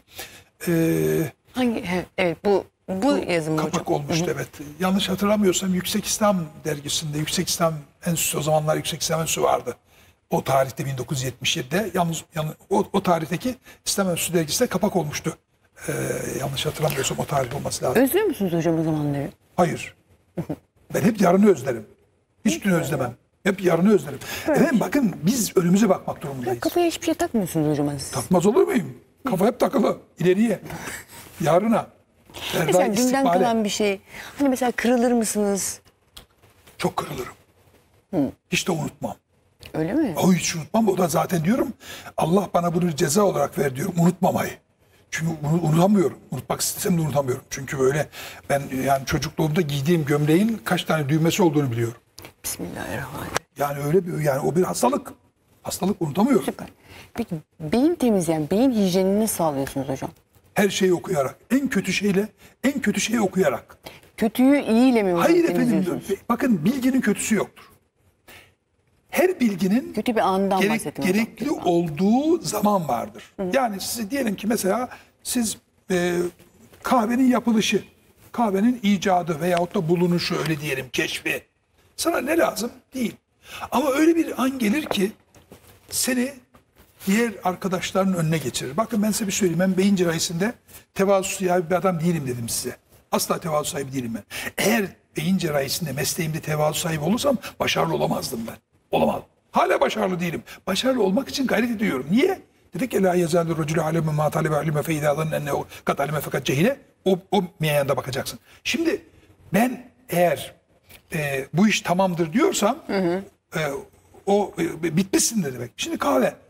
Bir yerde kahve nasıl icat edilir, nasıl yapılır, kaç çeşidi vardır, işte şu su vardır, bu su vardır. Kalem, mürekkep bilmem ne diyelim ki mürekkep. Mürekkep nasıl yapılır? Lan sana ne lazım? Mürekkep nasıl yapılır? Nasıl yapılsa yapılsın. Oku. Eline geldi mi? Oku. Bir gün gelir ki seni o arkadaşların önüne getirir. Size şöyle bir şey söyleyeyim. Bakın ben beyin cerrahisinde e, çok şükür e, istediğim yerde olmasam da e, iyi bir yerdeyim. Ama inanın bu olduğum yerde ben mesela 2000 yılında International Lecturer seçildim Amerika'da. Evet hocam. Yani benden e, ilk Kürt ve ilk Müslüman benden önce de seçilmedi, benden sonra da seçil- seçilmedi. O e, o International Lecturer olarak. Ama inanır mısın beni oraya getiren tabii ki beyin cerrahisi alanında yapmış olduğum çalışmalar çok önemli ama beyin cerrahisi dışındaki teolojide, edebiyatta, felsefede, sanatta, şurada buradaki çalışmalarım beni oraya taşıdı. Yani şimdi öyle bir an geliyor ki bana mürekkebin yapılışı gerekiyor. Veyahut da Süleymaniye Camii'nin kubbesinin yapılışı geliyor. Geliyorsun ne lazım lazım. Bir gün gelir anlatırsın. Bir gün gelir birisi bir soru sorar. Oradan kimse bilmez sen anlatırsın onu. Yani ben Yunan mitolojisinde bana sabaha kadar Yunan mitolojisi anlatayım sana. O Sirif ve Esir'in sevgi, sevdasını anlatayım ben sana. Zeus'tan bilmem işte Kronos'un e, şey, savaşını anlatayım gibi. Yani lazım olur. Çünkü dedem derdi ki oğlum aklına takılan bir sorunun cevabını bulmadan uyuyorsan senden adam olmaz. Eğer ilim adamı olmak istiyorsan kafana takılan sorunun cevabını bulmadan uyumayacaksın.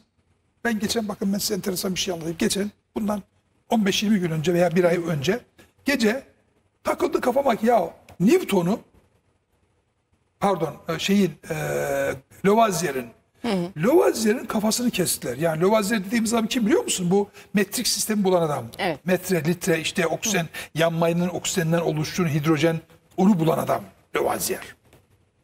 1794 yılında adamı idam ettik. Lavoisier'i. İşte 1789'da Fransa ihtilali oluyor. İhtilali. Bunu idam ediyorlar. Kafama takıldı ya bunu idam kararını veren, idam kararını veren hakimin adı ne? Ya sana ne lazım? Onu idam eden hakimin adı. İnanır mısın ben gece kalktım. Gece saat 2 ya da 3 aradım. Adamın kim olduğunu buldum. Kofinol diye bir adam. Kofinol. Ama enteresan bir şey. Aradan 3 ay sonra Kofinol'ü de aynı şekilde idam ediyorlar o hakimi. Yani ha bu ne lazım sana? Bir günün birinde gibi işte bu akşam gelir Esra sorar ben de cevap veririm gibi. Onun için bakın buradan izleyicilerimize e, öneriyorum. Okumak için hiçbir kitap seçmeyin. Hangi kitap olursa, hangi bilgi olursa çok soru sorun. Bilimin kaynağına çok saygılı olun. Kitaptır, defterdir, kalemdir. Bir gazete parçasının dahi üzerine basmayın. Bilimi temsil eder, ilmi temsil eder. Basmayın. Hangi kitap olursa olsun, hangi bilgi olursa olsun okuyun. Dünyanın en saçma, en ahlaksız bilgisi dahi olsa okuyun. Bir gün işinize yarar. Ne kadar ben beyin cerrahıyım bana ne lazım? Bilmem işte atomun bilmem nesi veyahut da bilmem nükleer silahların bilmem nesi. Eline geçti mi oku.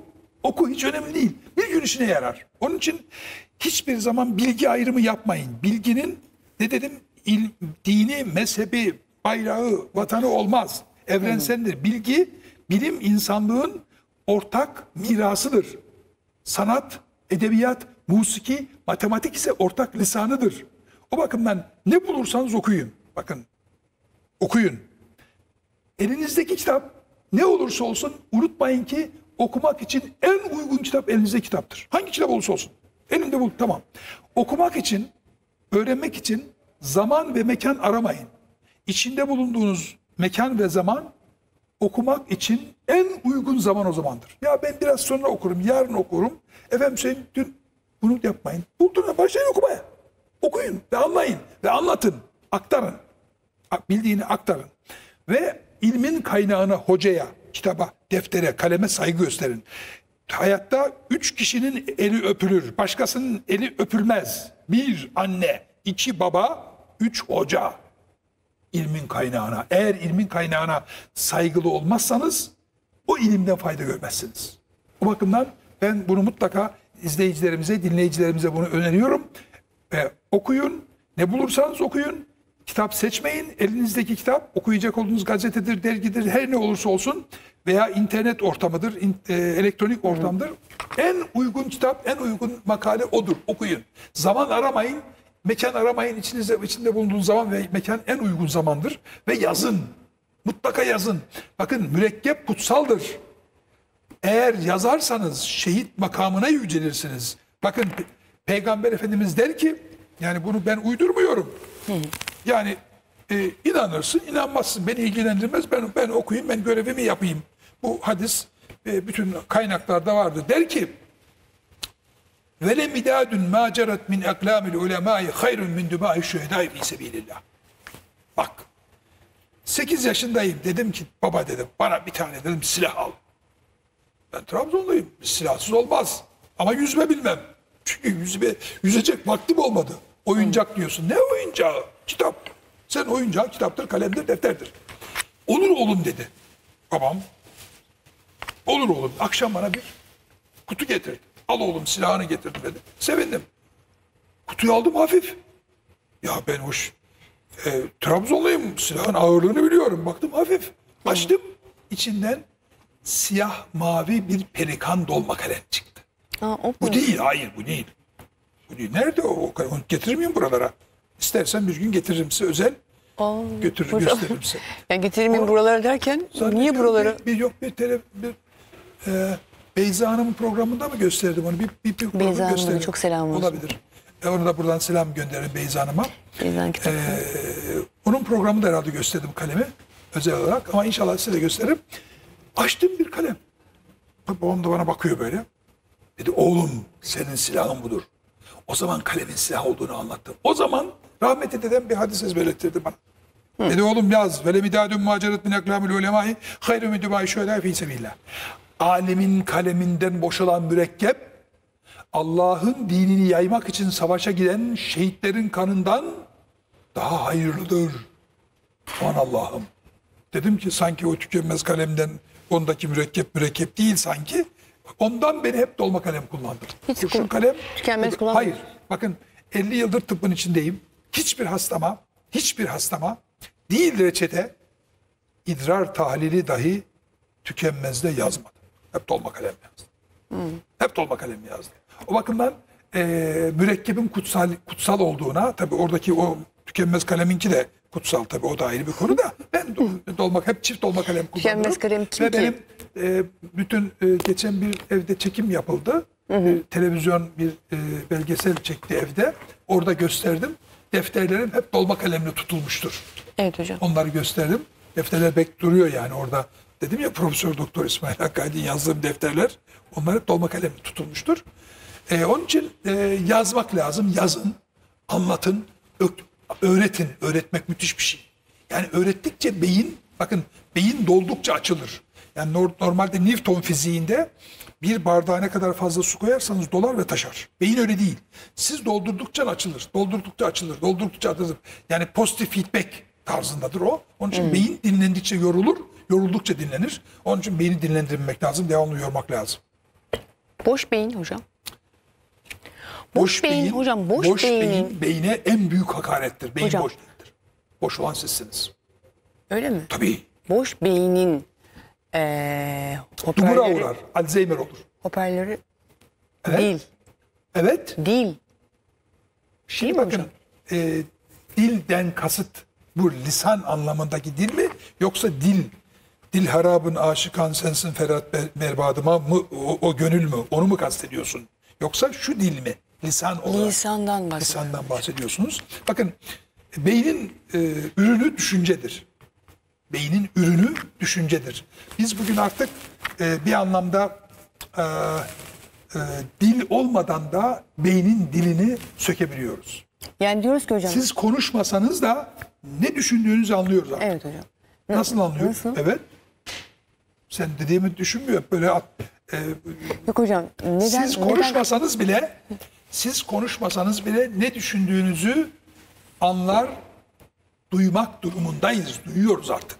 Yani sizin düşüncelerinizi, frekanslarını bugün kaydedip onları text to speech yapabiliyoruz. Yani söze dönüştürebiliyoruz. Tabii bu rutin hale gelmedi ama bu yarın bu olacak. Çip mip diyorlar ya. Bunu siz yapıyorsunuz değil mi hocam ilk? Hayır şimdi şöyle o bizim yaptığımız şu. Türkiye'nin. Zannediyorum siz bu beyinsizsiniz. İkide e, beyinler arası e, beyinler arası internet oradan zannediyorum kastediyorsunuz. Evet hocam.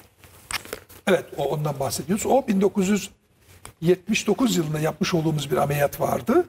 Yani e, bir canlı bir insanda epileptik nöbeti olan bir insanda o zaman MR yok, tomografi yok, şu, yok, bu yok işte. O zaman beyni e, uyutmadan hastayı açıyor açtık. Epileptik odağı bulmak için bu arada beyin frekanslarını kaydettik, fonksiyonlarını, frekanslarını kaydettik ve onları o zaman text to speech yapamıyorduk. Yani söze dönüştüremiyorduk ama bugün Artık onları söze dönüştürmek mümkün. Chicago Üniversitesi'nde düşüncenin frekanslarını söze dönüştürebiliyoruz. Ee, yani evet sizin düşüncenizi isterseniz ben bakayım burada yanımda var isterseniz onu dinletebiliriz. Yani e, isterseniz onu dinletebilirim yani. Nasıl yani? Yani bir düşünceyi frekansları nasıl söze değiştirdiğimizi isterseniz dinlettireyim buradan. İster misiniz? Hazırlayayım. Olabilir hocam ama Tamam. şu Burada hemen Ee, hocam çok üzgünüm şu anda ben. Niye? Çünkü yavaş yavaş yani programımızın ne diyorsun ya? Aa, bismillah. O zaman ben Çok dinletmiyorum size. bunu. Çok isterim yok. hocam. Şöyle yapalım. Ee, bizim bu ilk Arap'ta sorular programımız değil hocam. Onu anlıyoruz. Ya vallahi Bunu inan düşünmek samimiyetle bile söylüyorum istemiyorum. Metaverse'ü konuşma. Ne de Metaverse'üm ya? ya Metaverse çok önemli. Bak ilk yazdığımız kitap bu. Hocam Bak, tamam bir dakika. İlk kitabı bu. Nerede? Şunun altında herhalde. Hocam konuşacağız onları da. Şöyle yapalım. Ee, Ramazan'da da hocam biz sizinle program yapalım olur mu? Metaverse konuşalım. Ki asıl benim e, konuşma istediğim alan da bu. E, ama şöyle hani Beyza'nın e, sevgili Beyza'nın alanı yani bu. E, o çok güzel yapıyor hocam sizinle kayıt dışı Vallahi e, programı. Ben Biz Be- Beyza Hanım'dan izin almadan bu programa çıktık. Ne yapacağız bilmiyorum. gerçekten Vallahi. Beyza kızmaz ya. Yok, buradan selam gönderelim kendisine. Çok çok selam olsun. Çok çok başarılı, çok güzel bir program yapıyor. E, kayıt dışı Kayıttır. programın ismi. Divane eden. Doğmazsan eğer ruhuma her an yeniden. Ölmüş gibiyim kabrine bir çare giden. Sevgin yeni bir iklime gönderdi beni. Ey gönlümü her lahzada divane eden. Yani onlar Hocam bir, bu, bir- bunun bir motivasyonu vardır ya. olmaz olur mu? Bunun bir motivasyonu vardır ya. Ya- Maşallah yani. Benim Estağfurullah bismillah. söylediklerim söylemek isteyip de söylemek isteyip de söyleyemedi, söyleyemediklerimin küpünden sızanlardır. Çok güzel. Devam mı söyleyeyim yok. Çok güzel. Ya öyle. Aforizmalarda bu arada aforizmalar kitabımızda Beş cilt var onunla beş cilt. 5 cilt var. Hepsini doğa molek, e, molekülü yan etkisi ve re- reçetesi olmayan yegane ilaç. Çok Müthiş. güzel. Dua bakın müthiş bir şey ya. Dua, dua molekülü, yan etkisi, komplikasyonu, amino asiti ve ücreti ve reçetesi olmayan tek ilaçtır. Muhteşem. Evet. O da Bak nasıl buldun hemen orada. Kaçıncı Bana cildi o? hocam bana denk gel. Ne olarak yorumluyorsunuz hocam? Bana denk gelmiş. Olabilir mi? El hayru bima fîmâ baka. Olan her şeyde hayır vardır. En çok kendimden korkuyorum. Niye korkuyorsunuz hocam kendiniz? Evet. Çünkü benim en büyük düşmanım kendimdir. Peki sizin hocam kendinize Benim en, en, büyük, büyük... düşmanım kendimdir. Bakın buradan yine izleyicilerimize söylüyorum. Mutlaka bir sevgiliniz olsun. Bir düşmanınız, sevgiliniz yoksa düşmanınız olsun. Başarmak için bu şart. Aa, Evet başarmak için bu şart. Çünkü ben ne dedim kendimi düşman kendimi kabul ediyorum. Kendi en büyük rakibim kendim. En büyük rakibim kendim. İçimdeki İsmail Hakkı ile kendim devamlı yarış halinde olması lazım. Durmak yok. Asla. Asla. Sizi motive edecek tabii düşman derken burada bir rakip anlamında. Doğru. Ben hatta bazı bir kitabımı e, kitap bir kitaplarımın bir tanesinde düşmanlarıma teşekkür ettim. Benim kuyumu kazıp başarısızlığım için engeller koyan düşmanlarıma teşekkür ettim. Çünkü onlar hep daha fazla, daha güçlü sı- sıçramama sebebiyet vermişlerdir. Teşekkür ediyorum onlara. Allah razı olsun onlardan. Bakın sizin öyle bir e, kırgınlıklarınız da olmuş yani. kırgınlıklarım olmaz olur mu? Hem ne kadar? Ama affetmem. Bakın affetmek Affetmem derken hocam. Bakın hayır bakın affetmek nedir biliyor musun? Bak güzel bir konu bu aslında. Affetmek unutmamaktır. Affetmek unutmamaktır. herkes affedilmeye layık değildir. Allah'ın affet, affetti, affetmediğini, Allah'ın affetmediğini benim affetmek gibi bir cüretim olamaz. Bak Allah. her şey bunun altındadır. Allah'ın affetmediğini benim affetmek gibi bir cüretim, bir edepsizliğim olamaz. Affettiğini, Allah'ın affettiğini hocam. Allah'ın affedin zaten affediyorsun sen zaten. Gerek onu zaten Allahu Teala sana affettiriyor zaten. Allah sana zaten onu affettiriyor. Hocam çok teşekkür ederim. Vallahi Vallahi ben bir şey anlamadım. Ben çok şuraya- sevdim ben bu programı. Onu da söyleyeyim. Benim için çok e, hayati bir önem taşıyor artık bu saatten sonra gerçekten. Sağ olun. E, şimdilik açık büfe tarzı bir program Yalnız yaptık. ben bakın size söyleyeyim. Lütfen benimle program yapacaksanız en az 4 saatlik bir şey alın öyle konuşalım. Ben, ben hiçbir şey konuşamadım bu akşam. Hiçbir şey konuşamadım yani. Mesela şimdi, ay, şimdi aldınız siz şimdi. Elif duyuyor musun beni? Evet buyurun. Rubai yani şimdi orada e, zülfünün her bir telinden boynuma organ yapın. Ya ben bunu konuşmam lazım. Ben burada bakın Nizami'den bahsetmem lazım. Cemşit'in abı hayat Tasında gül nerede? Nizami laleden Zülfü Kakül nerede? Feridüddin Attar'ın Mantıkut Tayrı'ndaki Kaknüs'ün doğacağı sihirli kül nerede? Onu konuşmamız lazımdı. Feridüddin hocam. Attar el-Nişapuri. Onu konuşmamız lazımdı. Evet hocam. Ama Bunları yok. da konuşacağız. Şöyle yapalım hocam. Zaten e, güzel güzel zamanlar geliyor. E, Ramazan geliyor. Ramazan'da da Profesör Doktor İsmail Hakkı Aydın hocamızla çok güzel bir program gerçekleştireceğiz. Tıp Profesörü Beyin Cerrahı, bilim adamı düşünür, teolog yazar, şair, güftekar, saygıdeğer Profesör Doktor İsmail Hakkı Aydın'la programımızın sonuna geldik. Çok teşekkür ediyorum. Allah razı olsun. Beni kırmadınız. Ben, ben de teşekkür ediyorum. E, İnşallah fayda olur. Çıkışta hocam e, şimdi görüşeceğiz. Güzel bir kahve içeceğiz, konuşacağız. Çok güzel mesajlar var onları göstereceğim size. Evet gidiyoruz. Efendim? Teşekkür ederim. Ben çok teşekkür ederim hocam. Gidiyoruz. Ee, yayından çıkmamız lazım. Ee, sizi seviyoruz. Mükemmel mesajlarınız var. Hepsini de hocamıza ileteceğim. Allah razı olsun. Önümüzdeki hafta yaşarsak eğer bir şey olmazsa buralarda olacağım. Hocam tavuk ne olmuştu? Tavuk yaşıyor muydu? Tabii hocam. yaşıyor canım dönüşüyor mu? E, süper. Onları şimdi konuşacağız. Tavuklarını Gidiyoruz biz. ya. Tavuk yumurtalarını aldık ki devamlı. Yumurtalar devamlı geliyor.